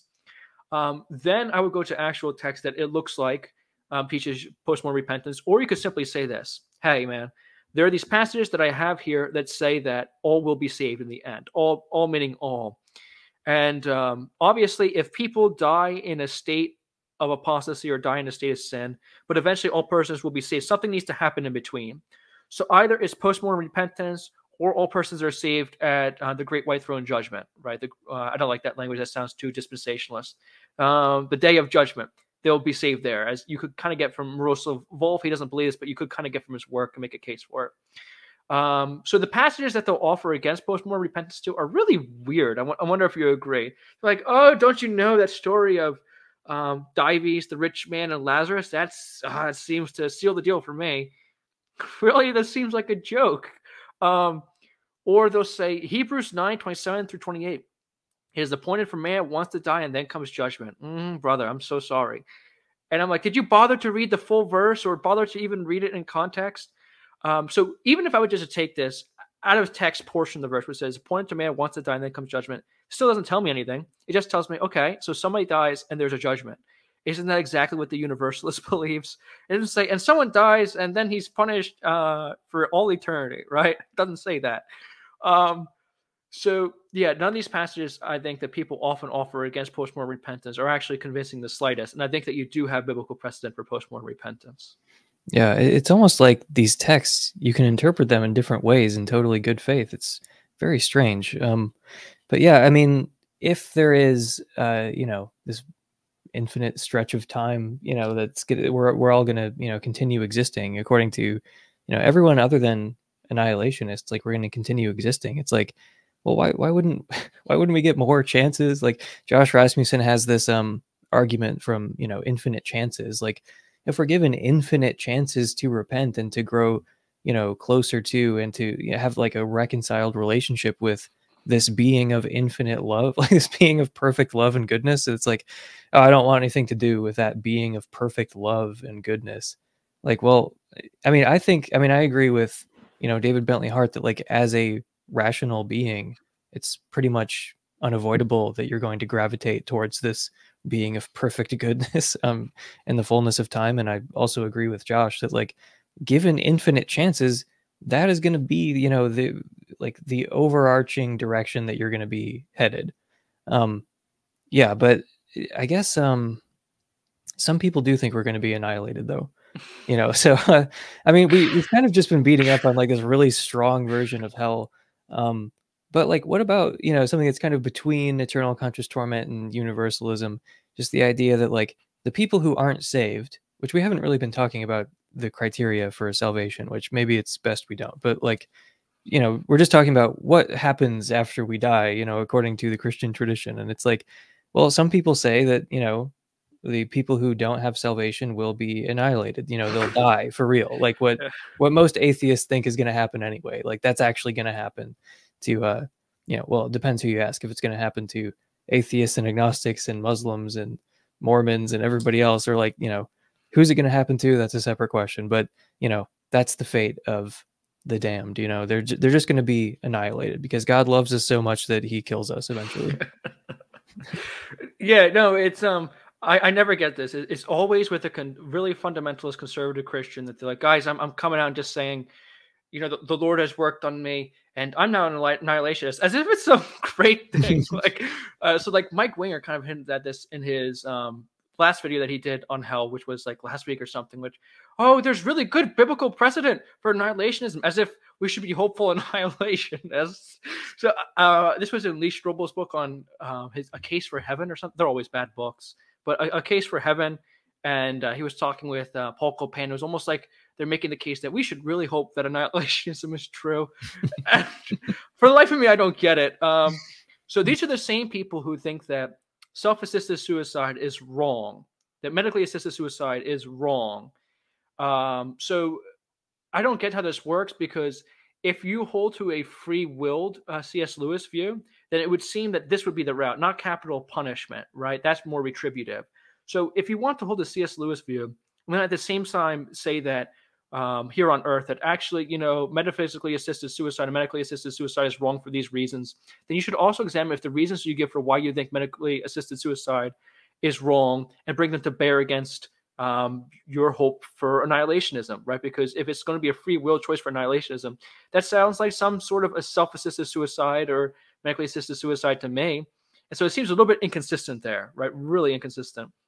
Now, um, and so, yeah, the idea is, I guess they're saying, well, we're saving them more pain. I'm like, but when you argue against people who are in support of self-assisted and medically assisted suicide, I hear like people like Sean McDowell um, and other folks. You argue all the time that we should seek palliative um, care that seeks to reduce pain, right? Eliminate the pain without eliminating um, the experiencer.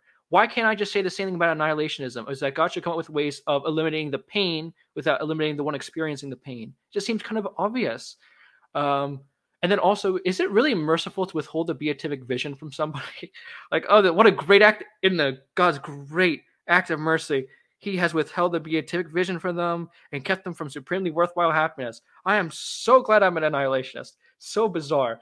Um, so most annihilationists I meet aren't of the free will sort, although that seems to be the only sort of annihilation that actually seems to make moral sense. Um, usually they're retributivists, the ones that I meet. Not saying that they're the dominant group, but they tend to be the loudest group.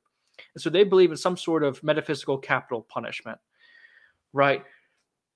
Um, so if you're not a big believer in capital punishment, as most sane moral people in our society um, would say is just deplorable capital punishment, then why should you be in support of like divine capital punishment right? If you acknowledge, hey, you know what, there are better ways of treating criminals than simply um, killing them, then, then why shouldn't this lead your moral intuition to say, you know, God should have better ways of dealing with criminals than simply annihilating them, right? So um, I think really what it comes down to is you have most annihilation is they're making a lot of scriptural arguments to say, well, look at this passage and look at this passage and look at this parable and look at that. So I think they're well aware that their moral arguments don't make any sense whatsoever, but they just say, well, you know what? This dusty old text written several thousand years ago said this, so we're going to go with that. And okay, so I have a couple things to say on that. First of all, it should be obvious I have a different view of Scripture and the role that it plays um, than a fundamentalist Christian. So when I look at um, Numbers 31, for example, or the book of um, Joshua, God forbid the book of Judges, I don't say, my goodness, you know, isn't that amazing what's going on? God commanded it. I guess they got to do it. I say, you know what? This is deplorable what's going on, right? This this goes against the grain of my deepest moral intuitions. And so, yes, I'm interpreting those passages in light of my moral intuitions. And um, I remember bringing this up to it to an annihilationist, like the question of moral intuitions, and he didn't want to talk about it. So yeah, in my experience, many annihilationists are simply making scriptural arguments. The ones that do make the philosophical arguments usually make it in favor of the free will annihilationism. But when they do that, I remember like I asked Richard Swinburne and uh, Jonathan Kvanvig, I asked them, so you're in support of what seems to be a free willed annihilationism. Are you also in support of uh, medically assisted suicide, right, or self-assisted suicide? And uh, they said uh, one said no comment, and one said he wasn't sure. So. Okay.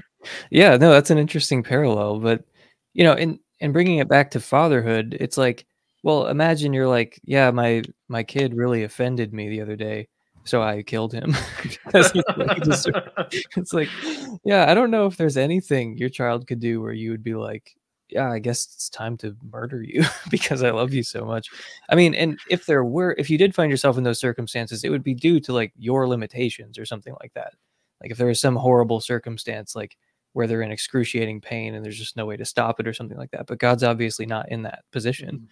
Mm-hmm. Um, and the, uh, I mean, speaking of Josh Rasmussen again, he he used this analogy once um, where he said, like, you know, imagine that you're a loving father and your children are in a playground and there's this pit in the middle of the playground that's infinitely deep, and it's like you know, would because you respect free will so much, would you allow them to play near the edge of the uh, pit, or would you kind of keep them away from it? Would you like board it up almost, or like a, uh, you know, even if they did fall in, you would reach in and, and grab them back out of it. You wouldn't just let them fall because you respect their free will.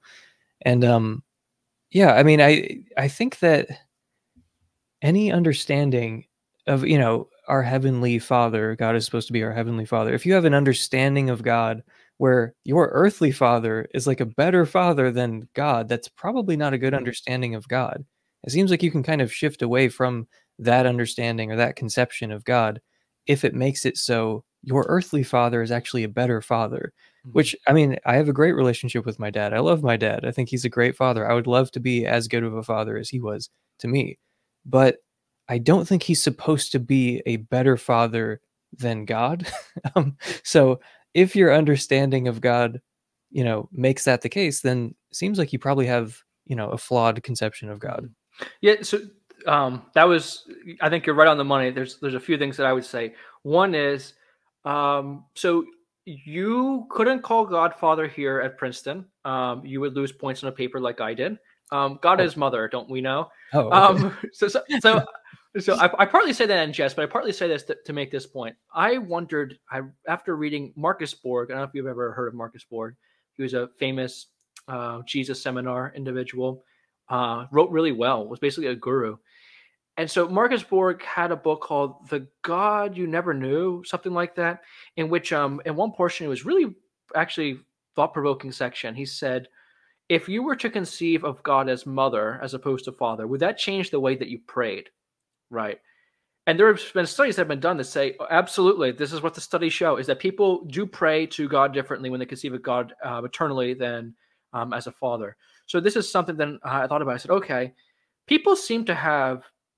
Uh, would it be easier for people to conceive of the traditional doctrine of uh, doctrine of hell if they conceived of God as Father than would it be if they conceived of God as Mother?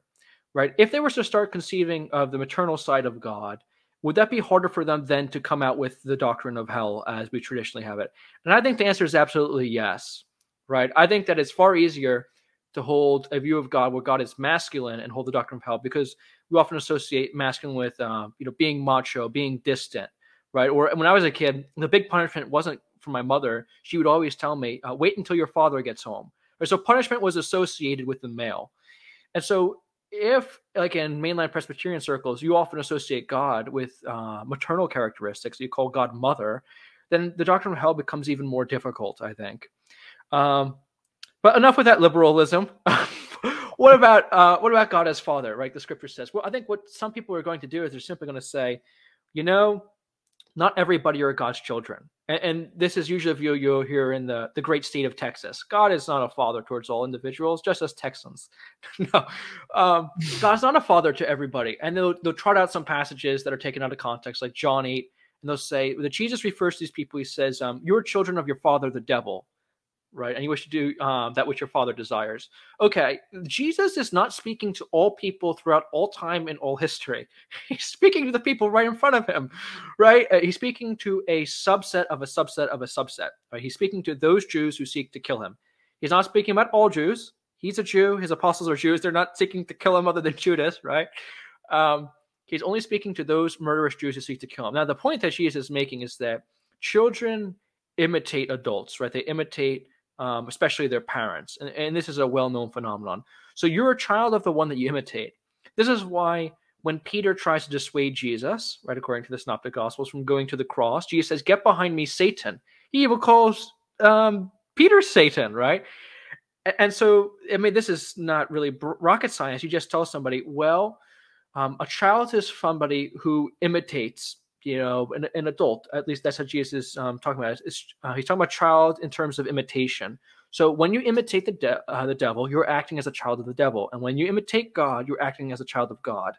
Now, Solzhenitsyn once said that the line between good and evil runs between every human heart, right? And I believe that the line between child of God and child of Satan can run between uh, many people's hearts, right? There are certainly Christians who, at some point, they act like a child of God, and at other points, they act like a child of the devil, right? Um, so, uh, for the Christian perspective, for example, when you are gossiping about somebody, when you have like a, a anger towards somebody that turns into hatred to somebody, you're acting like a child of the devil, right? Like Jesus associated hatred and anger with murder, and Johnny says that the, the devil is a murderer, right? So if you're child by imitation, you're being a child of the devil right now. Well, you could still be in a salvific standpoint, right? Uh, so thus being a child of God. So that passage is crap.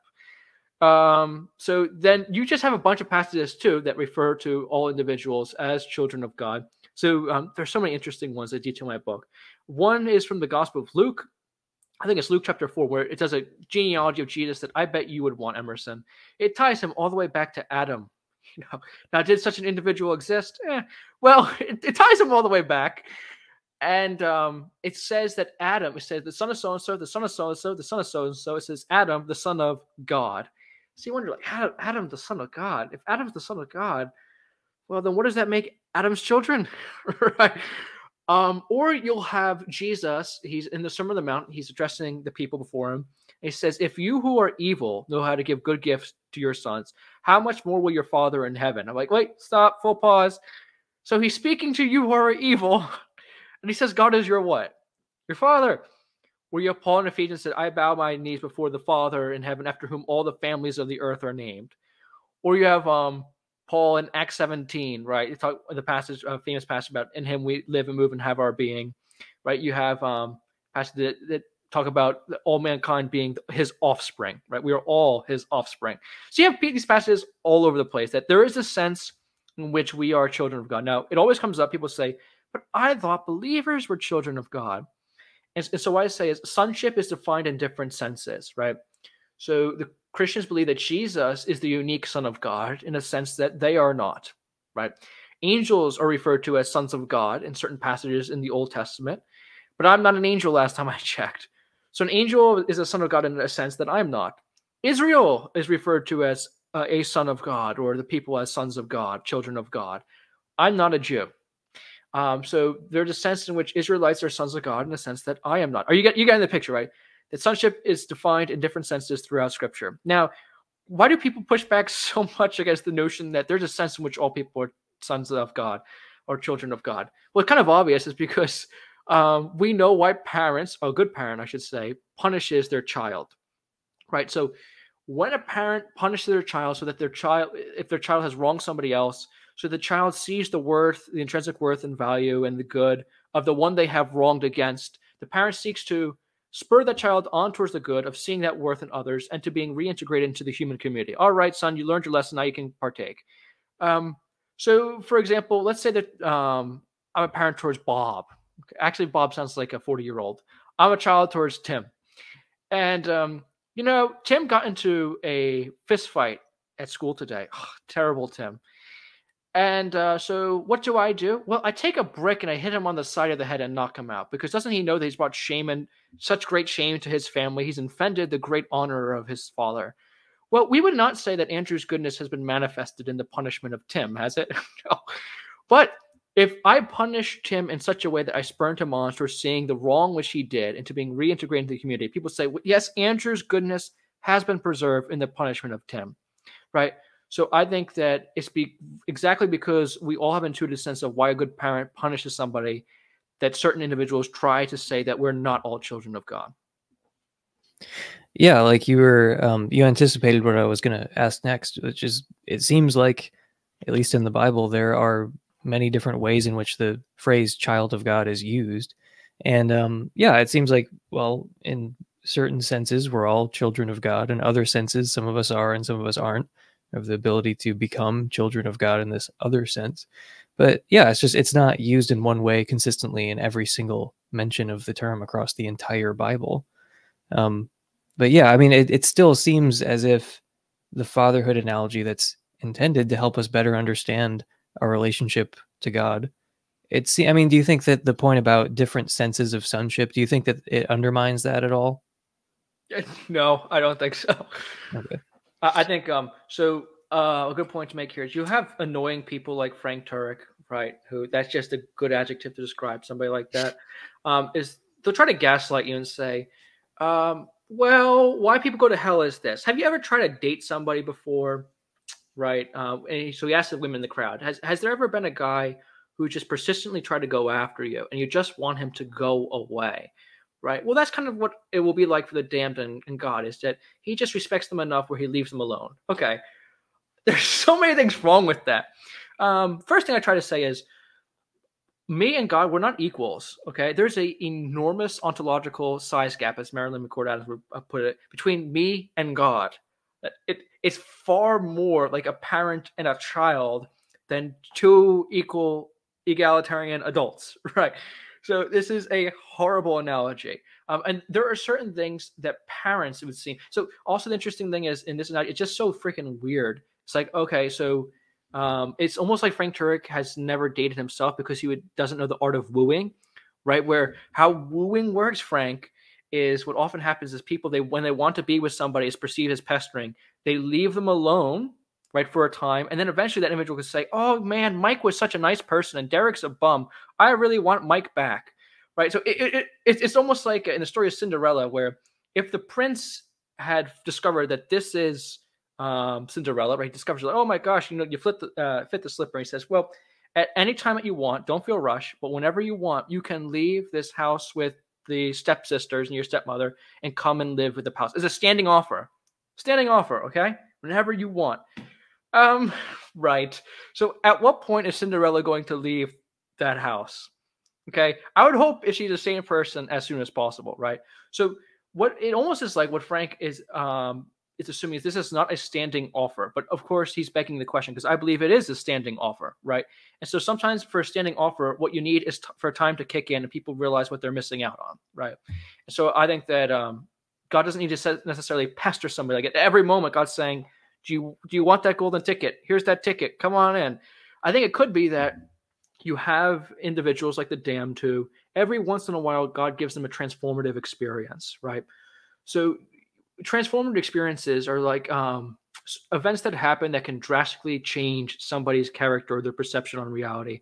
So you have these in the Bible. You have these also in real life. Like you have individuals. I heard one story where there was a construction worker who he was a really outgoing guy really personable, but he got hit by a I think it was like a steel it's like a steel beam or something at work and just his personality was utterly changed. He was completely like we say, completely different person.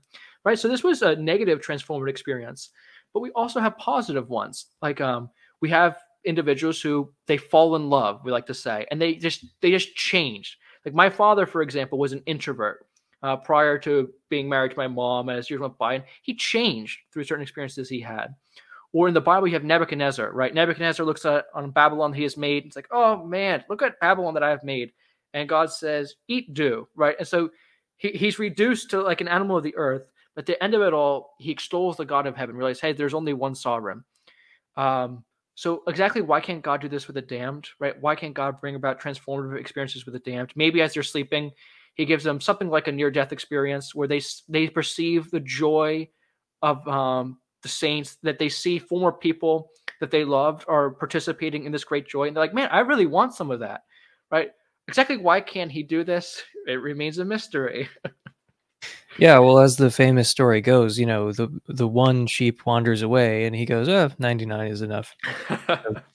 um, yeah. Speaking of that, I mean, I was about to say speaking of that song, but you know, there's that famous that famous song. I think it's called "Reckless Love" or "Relentless Love" or something. Mm-hmm. I um, my dad was making fun of me a little bit because last time I visited, um, I was trying to remember that song. I'm like, "What's that that new song?" And I was like describing it, and he was like maybe that was new the last time you were, but it's not new anymore.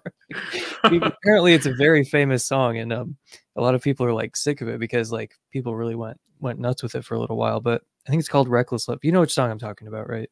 Cory Asbury, I think, I think is what you're talking about. Yeah, yeah, yeah. And it, at one point, he talks about like leaving the '99 or whatever, and like the like hearing that song um in church when I was visiting my parents, I'm like, this is just like a straightforwardly universalist song. it sounds like to me like I don't understand how these people are listening to it and not interpreting it that way because it seems kind of clear to me at least like it, that's how it sounded. I don't know if that was his intention at all, but anyway, um, I don't know why that just sprang to mind. But yeah, um uh, well, I remember um, once I became a universalist, listening to a lot of the songs that we sang, or mm. especially if you go to a funeral, listening to the language that is used, and uh, it doesn't sound at all like the message that is preached, right? There seems to be a disconnect. So, um, in that song that you're talking about, there's a line, "Oh, the overwhelming, never-ending, reckless love of God," right? Um, so notice the language of never-ending. It's like really, it's never-ending, and you'll see this in all sorts of Christian songs that are sung today in churches. That God's love never ends. Um, and so you have to wonder, it's like, okay, so it never ends. So you believe in post-mortem repentance? Oh no, no, no, no. I, I, don't.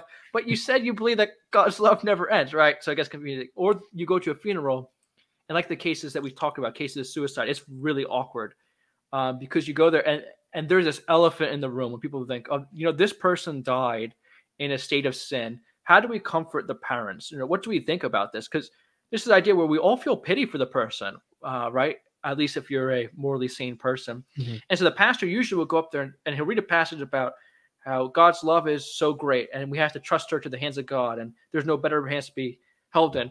And it, it gets really odd because you're like, well, you're the same pastor who says that there is no such thing as post-mortem repentance, but now it's almost like, but we hope that he was lying. we hope he was lying.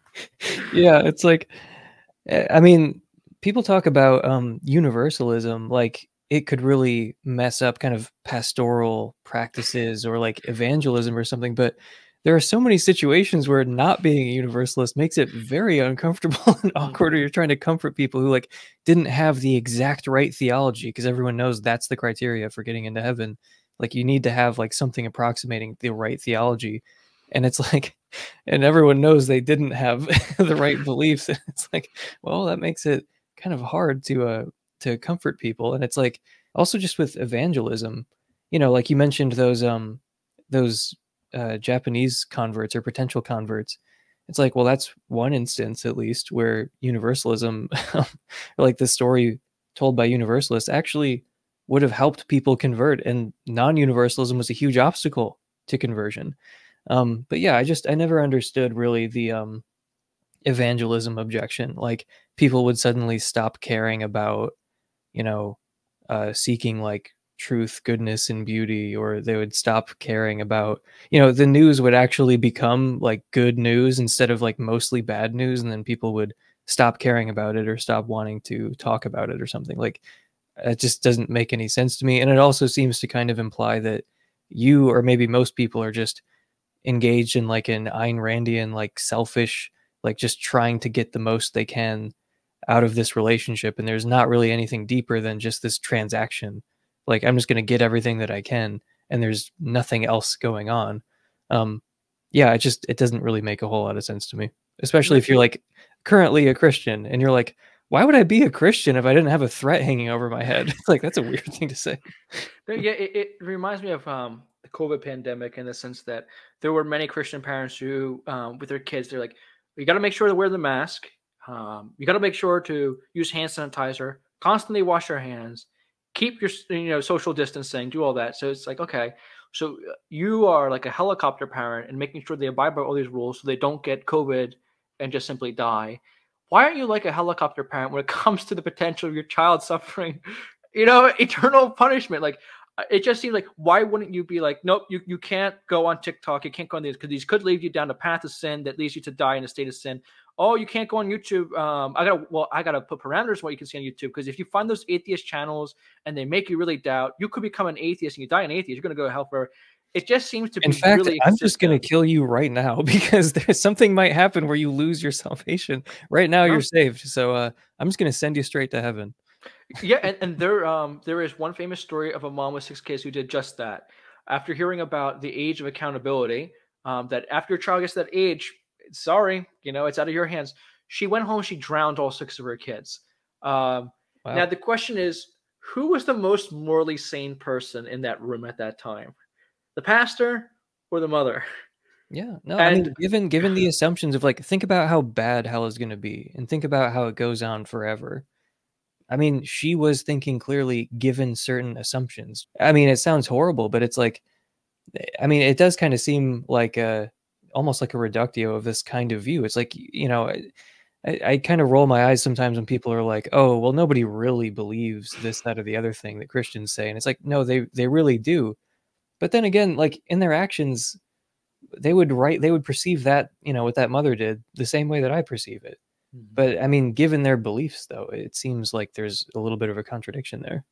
No, it, it can be extremely condescending from it's usually Christian apologists to when they approach these texts, like I said, they're like, oh, it's just metaphorical. And they'll instantly attack Dante for some like he's the whipping boy. Like, oh, we don't believe anything like Dante. Well, I'm sorry, because a lot of people that I have met take these texts literally, right? So you can't just like wave them away with the wave of the hand and say, oh, you, you know, it's just metaphor. You have to actually make a good case that it's metaphor. Because when I was a kid, it wasn't clear that it was metaphor, right? We heard people say, oh, it's metaphor. It just wasn't convincing. Um, I remember being in church where there was a evangelist. Oh God, you got to watch out for those. And um, the evangelist talked about a story about there was a downed helicopter and one of the soldiers inside was burning in flames, and he was screaming for his comrades to shoot him, to put him out of his misery. And eventually he died, but the evangelist made it quite clear that the same will not be true of you. That if you go to hell, that you will be in extreme agony and you will wish that it could end, but it will not end. So this was really effective in getting some of my friends to go up, but I remember being furious I remember just being absolutely furious at this. And um, I thought, man, if this was true, then I just would hate God. This sounds awful. It sounds worse than Stalin. But it just made so much nonsense to me that I just never really took it that God is like this. I just took it, this guy's a lunatic. Mm-hmm. Um, and so I felt really bad for my friends. Like it's just psychologically horrible, the idea. Um, so yeah, so one thing is gaslighting. The other thing, um, so you were talking about evangelism. I, I hate this question. Um, so yeah, a few things to say on this point, right? So you get from some people, well, why bother being a Christian? And this is really revealing about that person. Like I said earlier, there's some people who they really want to live a non-Christian life. They really do, but they don't because they're afraid of punishment. Right? So once you tell them actually the punishment isn't as bad as you think, then they start thinking, oh, how close to the line can I get? And like you and I said, universalists still believe that there's a hell. so that individual could still go there, right? So it's like, okay. Um, the other thing is, it's really weird because this is the same individual who constantly be telling people, "Oh, you know, uh, you should be a Christian simply because it's true." We're relation. We're made for relationship with God. I mean, this is the best thing that a person can obtain to. So, like, well, why isn't that sufficient enough? Like, why isn't that mm-hmm. good mm-hmm. enough? Like, if I if you were married and your wife told you, you know, honey, if you ever cheated on me, you know, I would forgive you, uh, right? You, I wouldn't divorce you or anything. Uh, would that lead you to think, well, you know, I'm going on a trip to Germany, so that's really good news because no, no, uh, it's horrible, right? Yeah. So, so yeah, so I, I think it's um, it's other nonsense. Why should we evangelize? Um, is a different question. So why be a Christian is one question. Why evangelize is different. Why evangelize? Say, um, okay, can you not think of any? So like usually I tell people if you found out that there is no infinite punishment, right? There's no eternal punishment. Would you still tell people about Jesus? And every time they still say yes, right? So this, I'm like, what is the purpose of asking this question then? So in evangelizing, we are helping God. I shouldn't say really helping God. We are joining with God in the restoration of all things, right? That is what we're doing. We are bringing the gospel to people so that if you really believe that relationship with God is, is an intrinsically valuable thing, then you're helping people to obtain to that. You're helping people to love the Lord their God with all their heart, soul, mind, and strength, and their neighbor as themselves, right? And uh, with the spread of the gospel, many Christians believe that um, there are also additional goods that come with it, right? So I give like 10 reasons why we should evangelize. So it's it's not really an interesting question. In fact, it's really horrifying when you come across people who even ask that question. So, and then the last thing I'd add is that there's is this like the trump card? I got asked this on capturing Christianity. It was really obnoxious. I actually really hated that interview. But I love Cameron, but I just hated the audience.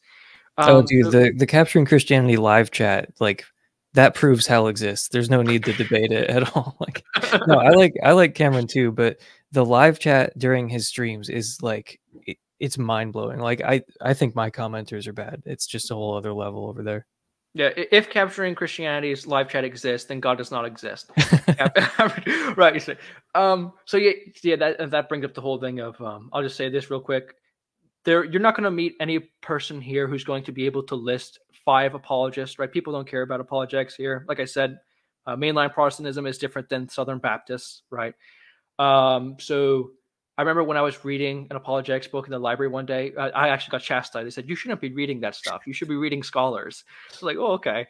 Um, but yeah, I think one of the problems with apologetics, just from my perspective, is that it's really um, cis white male dominated, especially like capturing Christianity folk. It's, it's, just a bunch of cis white males arguing with each other. And um, I think that. Hey, welcome listen... to counter apologetics, baby. That's yeah, yeah, yeah. yeah. No, I, I noticed the same thing. And so some people will instantly try to say, "Oh, you liberal, what's wrong with that?" I say, "Well, well, no." It's like theology. No theology is done without an adjective, and I think that we bring a certain background with us that we might not even be conscious of to our conversations, and that's just evident when I look at something like capturing Christianity live chat, right? It's like, okay, this is really obnoxious. So anyway, hmm. um, all that to say, I was asked by some rather interesting individual if eternal conscious torment was true, like if you knew it was true, would you still uh, worship God, right? Would, would you still be a Christian? Uh, like I said, this is like the one hand clapping nonsense. Like it sounds really nice until you think about it for 10 seconds. So what's really rich is that William Lane Craig was once asked by somebody, well, um, if the god of Isis was real, would you worship him? And Craig's answer was simple. Well, on perfect being theism, the god of Isis cannot be God, right? As exactly. that being that which none greater can be conceived. He can't be by definition. So why can't I just say the same thing? Well, on perfect being theism, you're asking me about a square circle. That, that what you're describing can't possibly be God. So, um, so to those who would try to think they got a trump card and ask me that question, I would just reply the same way that Craig does. Yeah, it's, it's oh, if God was evil, would you worship him? It's like, no. I mean, like, I given the like assumptions of perfect being theism, that's a nonsense question anyway. Like the antecedent doesn't make any sense. But still like if you're saying well what if there was like some really really powerful being that called itself god and it was evil would you worship it? It's like no. Because i have like moral intuitions and a conscience and stuff. I can't just like pretend that good is evil or something like just because there's some really powerful being that says so. Um and there actually is like a you know because moral intuition has come up quite a few times and it's like there's actually a decent moral argument for theism given by dustin crummett and philip swenson about our moral intuitions and their reliability. So I think our moral intuitions are like more or less accurate.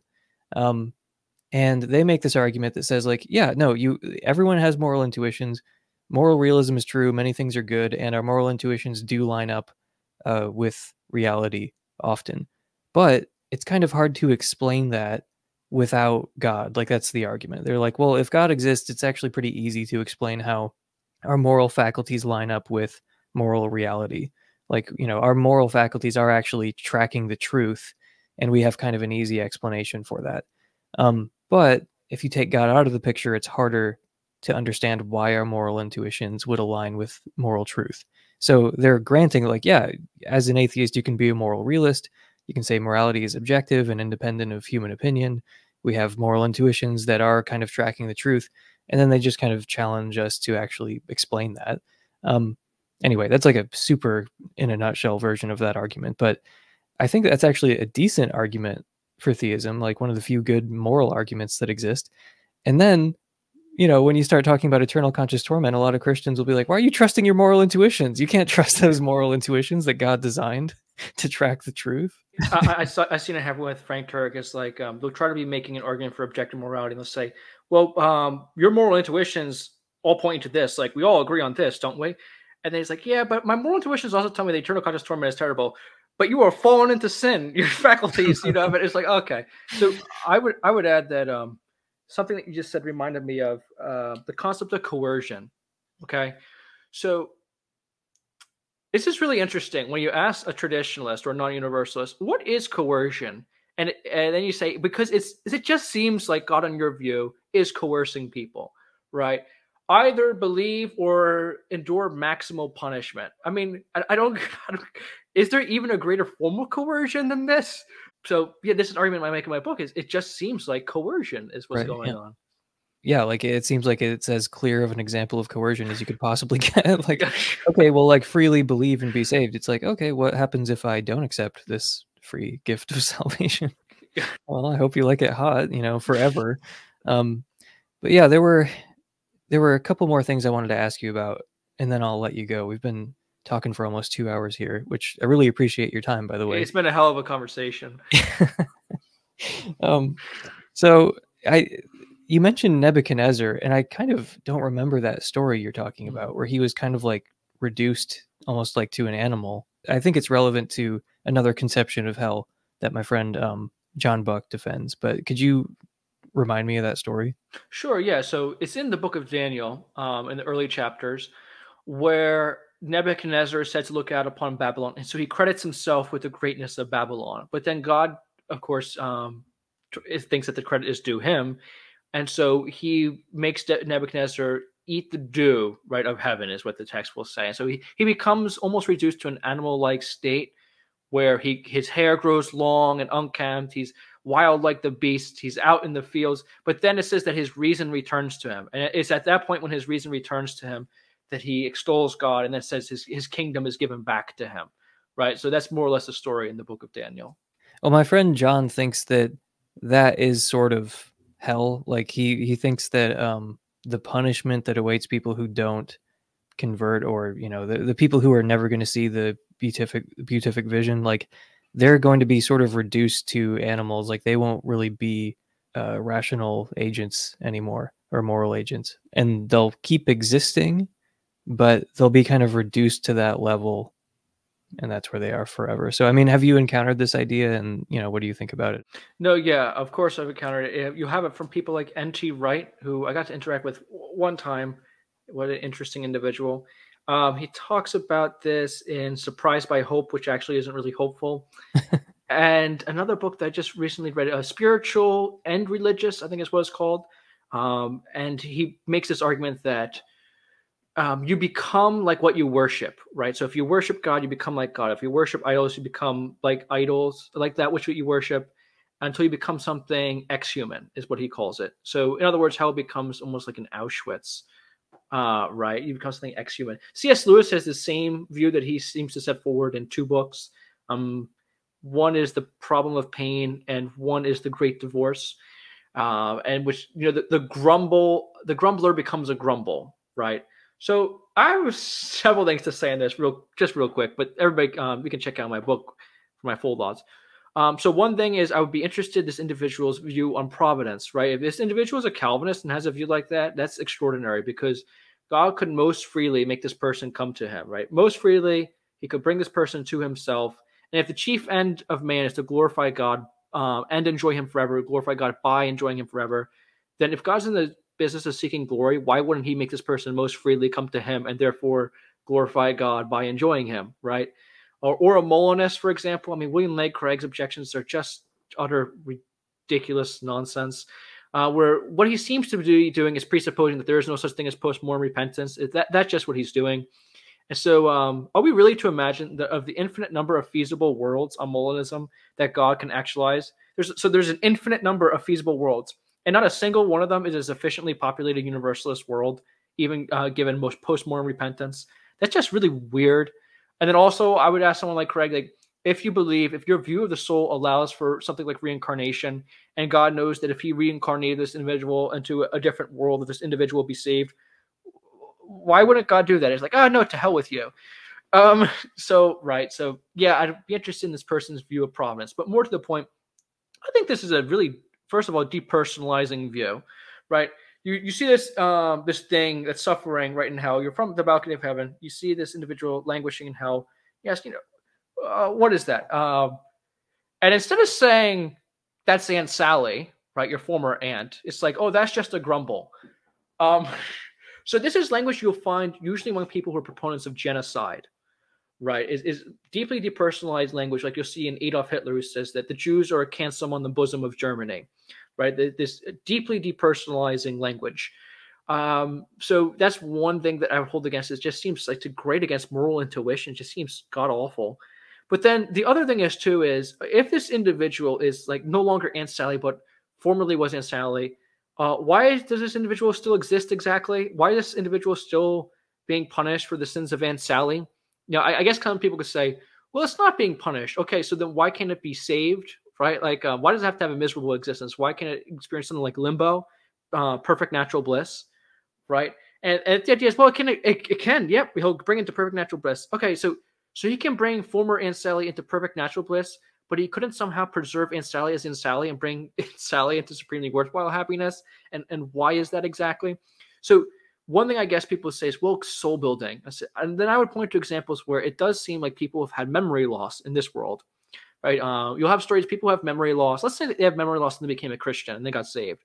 You start to scratch your head and you say, well, so God actualized a world. Let's use Molinism. God actualized a world which this individual received brain damage sufficient enough that this person, uh, when introduced to the gospel, became a Christian.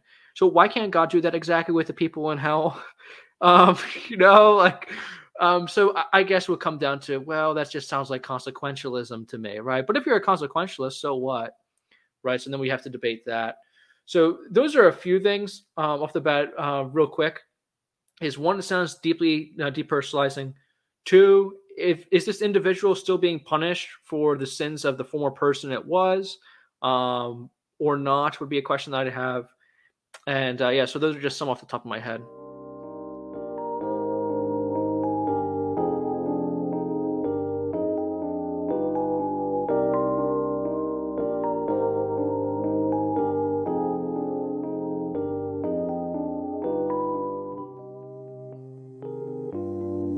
the objections to universalism are, are just garbage. Like I think most of them are are bad. Like the best ones are like kind of thought provoking and like, oh yeah, maybe that's a puzzle that needs to be solved. But none of them are like these knockdown arguments that they're often presented as.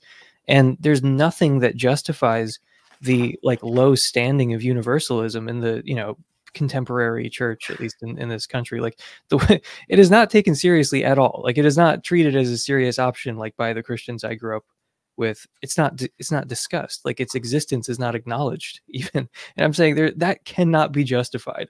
Like even if you're not a universalist you have to say like okay a, a, a rational person who is a christian who is operating in good faith could probably be a universalist. Like mm-hmm. you have to at least admit that.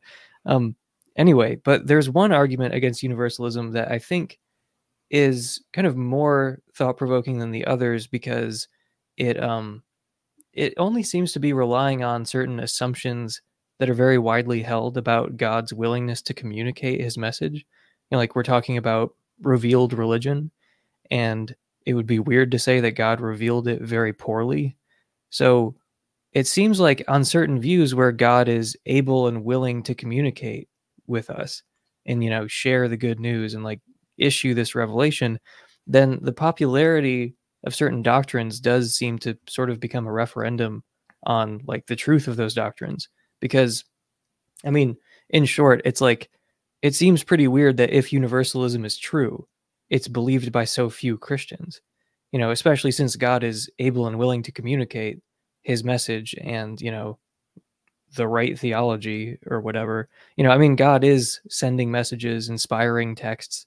You know, he's communicating with us in all these different ways. So it does seem pretty weird that the correct view would be like a minority position. No, yeah. Um, let me answer that, and then I just checked my book, so I just remembered. Let me give, um, if I we have time, a couple more objections to annihilationism, if that's okay. Oh yeah, yeah, go for it. Um, because that's a heap of garbage.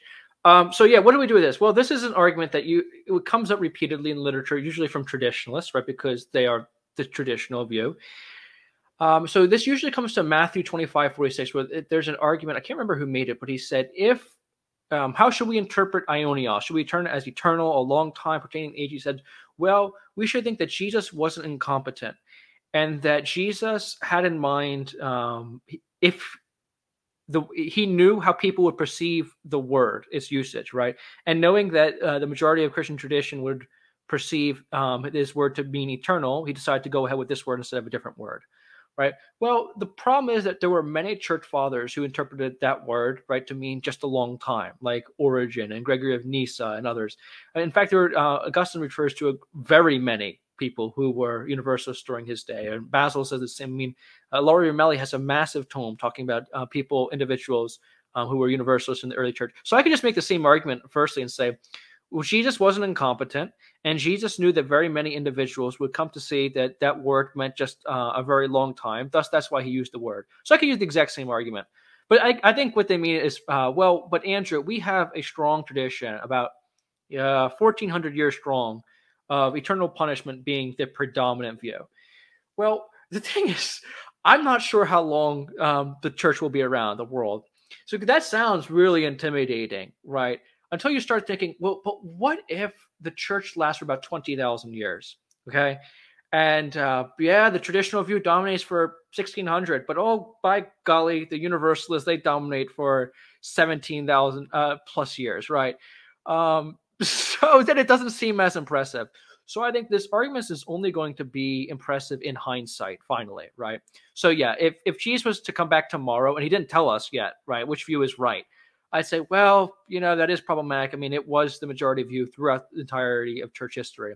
But church history is actually going to be a lot longer, as I'm of the opinion that we're in it for the long haul, that is going to be a long, long time. For me, it, it, it's not really much of an argument to make. I say, well, if Jesus is not incompetent and he knew that uh, very many in the early church would perceive this to be just meaning a long time, then that's why he used it, right? And also, if the church lasts for a very long time, I definitely see trends towards universalism. I can totally see how universalism will be the dominant view for a very long time. So if you and I were to have this discussion, let's say 1800 years from now, uh, I'm just, no, no, no, I'm sorry, um, 18,000 years from now, if you can imagine, and universalism has dominated for 16,000 plus years. Uh, I think that our views of this question would change, right? So yeah, I, I mean that that is kind of granting the logic of the argument, though. Um, I mean, because if that was the case, then you'd be you'd be right, and like universalists could make the exact argument I just made, but in defense of universalism. Um, but the whole point about like, well, Jesus isn't incompetent, right? Like, and I mean, we have to interpret the evidence that we actually have.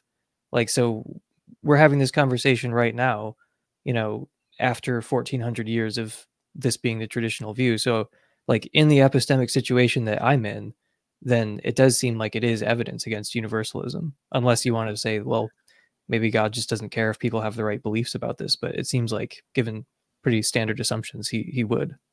No, I would agree that um, yeah, I would think that it is some evidence against universalism. I'm not opposed to that. I just think at the end of the day that the majority lies with universalism. But I do say that um, it should be problematic to universalists that this view has been the dominant view for a long time. That that for me was a really big holdup. So yeah, I would agree. But but you think um, that I mean, do you actually think that universalism is you know kind of ramping up? Like, do you is that kind of a serious prediction on your part that universalism will kind of be dominant in the future? So um, yeah, let me say a few things on this. Uh, one is um, a couple of decades ago, Zondervan published a book that was called Four Views on Hell. And it they had a literal, a metaphorical, an annihilationist, and um, I think it was a purgatory view, right?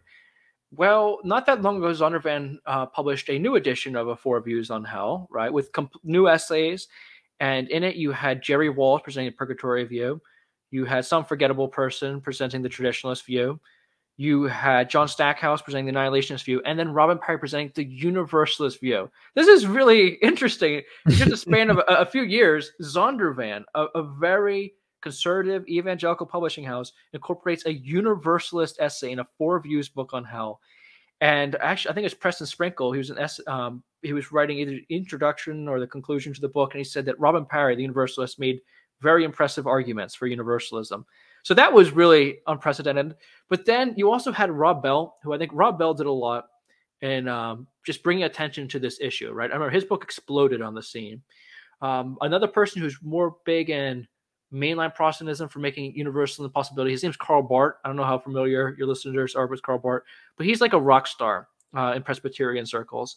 And so in, in his work, it did seem like it just inevitably led towards universalism, and that opened a whole can of worms. Then you had Hans Urs von Balthasar in Catholic circles, who um, he had a book, um, um, "Dare We Hope That All Be uh, Shall Be Saved," right?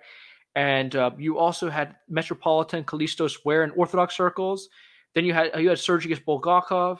Um, you had a lot of Eastern Orthodox fellows. Da- of course, David Bentley Hart. Uh, David Bentley Hart was like um, he reminds me of if you've ever watched The Lord of the Rings and uh, there's the battle at Helm's Deep, and all of a sudden you see Gandalf on the hill. The White Rider has come. Right, that's what that's what he kind of is for Universalists. So I think over time, it's just become a, a more and more public voice amongst prominent theologians. So um, Alvin Plantinga, for example, he's not a theologian, but he's someone who, according to two of his students, right, I talked to Jerry Walls and Josh Rasmussen did an interview, seemed to be some sort of universalist.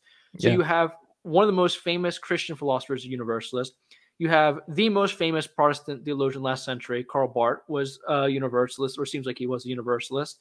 Um, you have Hans Urs von Balthasar leading there, Kallistos Ware. I mean, list goes on and on.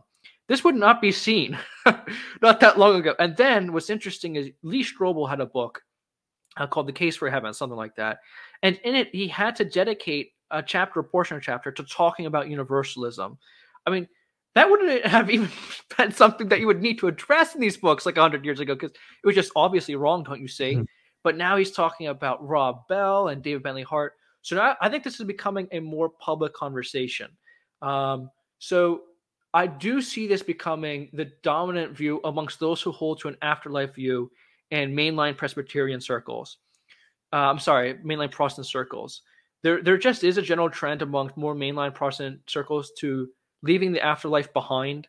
Um, I've met quite a few people here. They don't believe in afterlife, nor they believe in demons. Right? It, it's very different than if you're conservative circles. Um, but those who do in mainline Protestantism hold to some view of the afterlife. I think that yes, they will move pretty rapidly towards universalism, but they don't have the numbers. The numbers really lie in the conservative Christians. So the question usually it comes from people: Do you think that they will move in massive numbers to universalism? And I say, I think they're going to move in massive numbers towards annihilationism.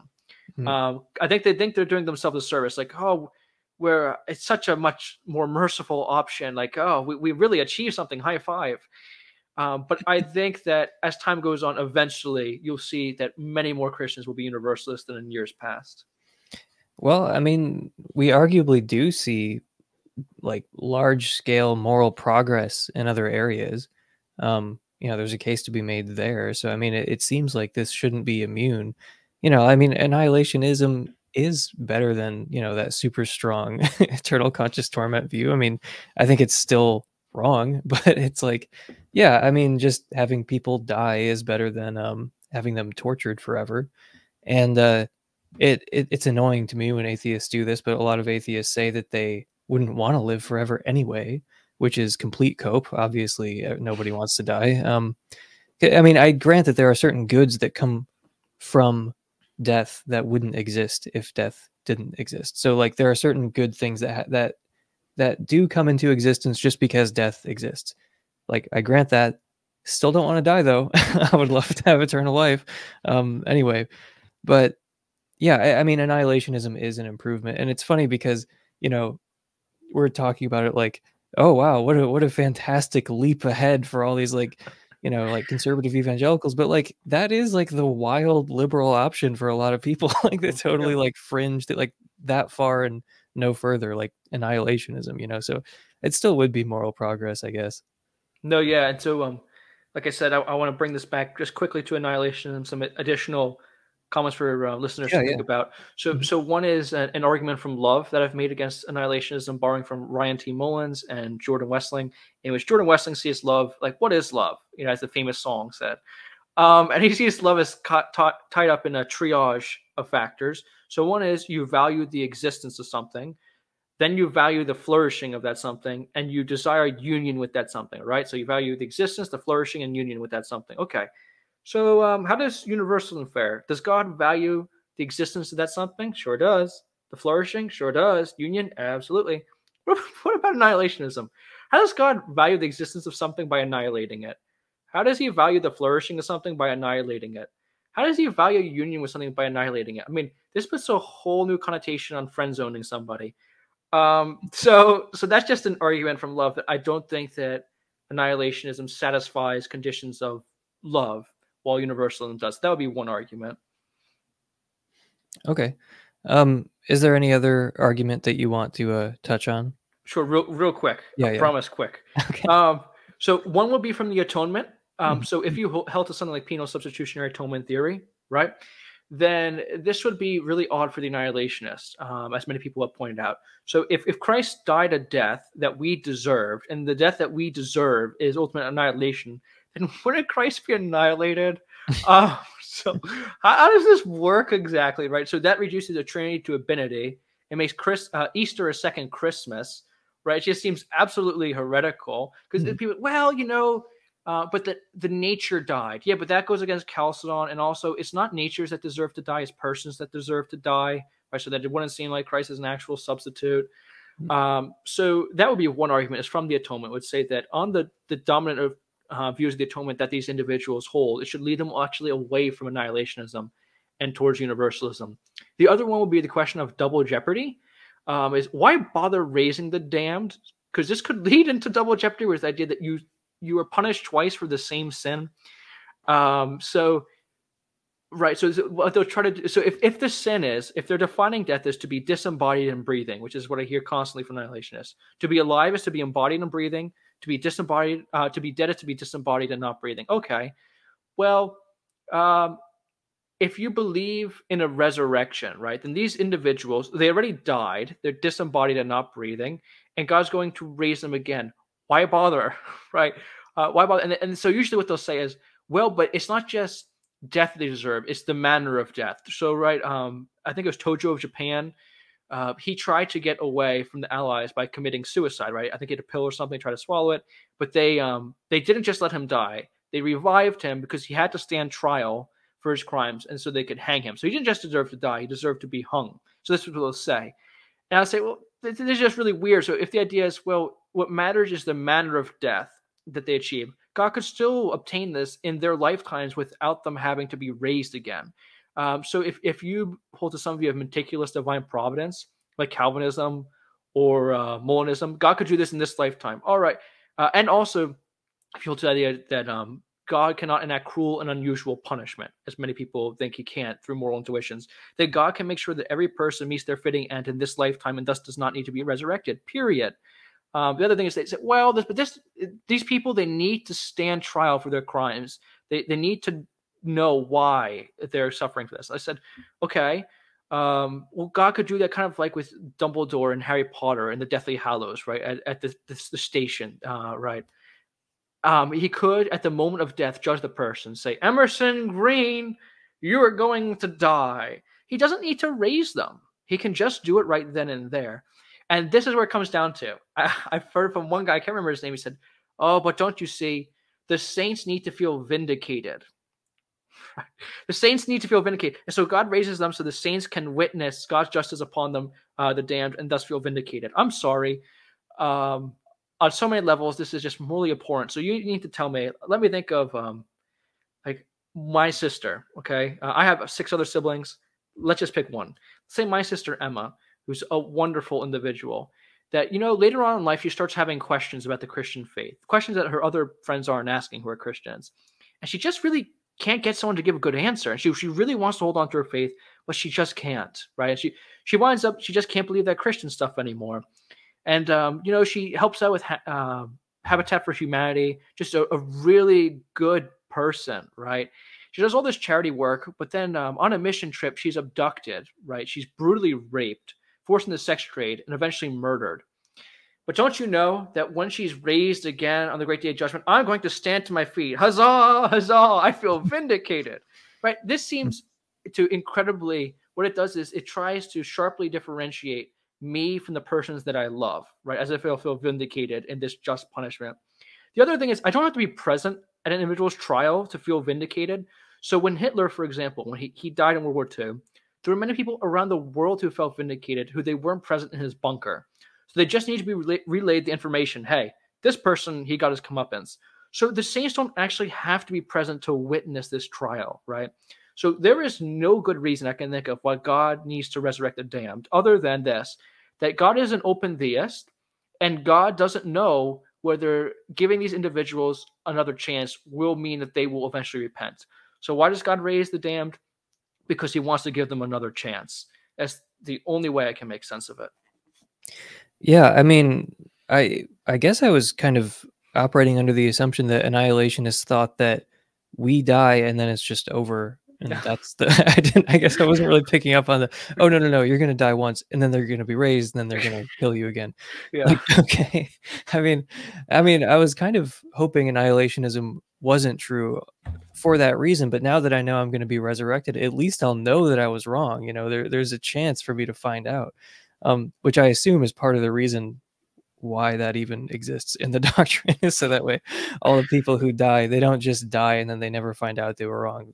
You know they're resurrected they're told they were wrong then they you know it, again it's the hell is for other people to go to. It's like if you think that really is part of the motivation then it becomes maybe clearer why the dead have to be resurrected only to be killed again. Um, but yeah annihilationism what a cool view anyway um, so are there any uh, further resources for universalism that you want to recommend for people who are interested besides obviously once loved always loved Sure. Yeah. So if they're interested in a good podcast, um, I'd say go check out Grace Saves All by David Artman. I've mm-hmm. been on a couple times. David Bentley Hart has been on it. All the prominent universalists go on, all the cool kids, right? So go make sure to check that channel out. Uh, I'll be having a debate on Premier Unbelievable. If your listeners are ever familiar with that channel, that will be in January. Um, Sean McDowell is supposed to be hosting, so that'll be fun. Um, so be looking for that. I've done other interviews that you can find on YouTube. I mentioned my Capturing Christianity one. I've done presentations on adherent apologetics. I did one debate on adherent apologetics. So you can find my interviews there. If you're looking for book resources, um, I'd say that David Artman has a really good, short, cheap book, right? That I, I really like. It's called uh, Grace Saves All. Definitely worth the purchase. But then if you're looking for more, you know, philosophical reads or more exegetical, I'd say if you want exegesis, go check out The Evangelical Universalist by Robin Parry. If you're looking for more philosophical work, go check out Thomas Talbott's The Inescapable Love of God. And if you're just looking for a darn fun read, read That All Shall Be Saved by David Bentley Hart. I very much enjoyed that one. um, and there's also this, um, I think it's, I don't know if it's a book or a paper, but it's called Universalism in the Bible by Keith DeRose. Mm-hmm. And you can get it on the internet for free. It's um it's posted on Yale's website or something. But um we love David Bentley Hart on this podcast. That's right. anyway, thank you so much for coming on. I had a really good time talking to you.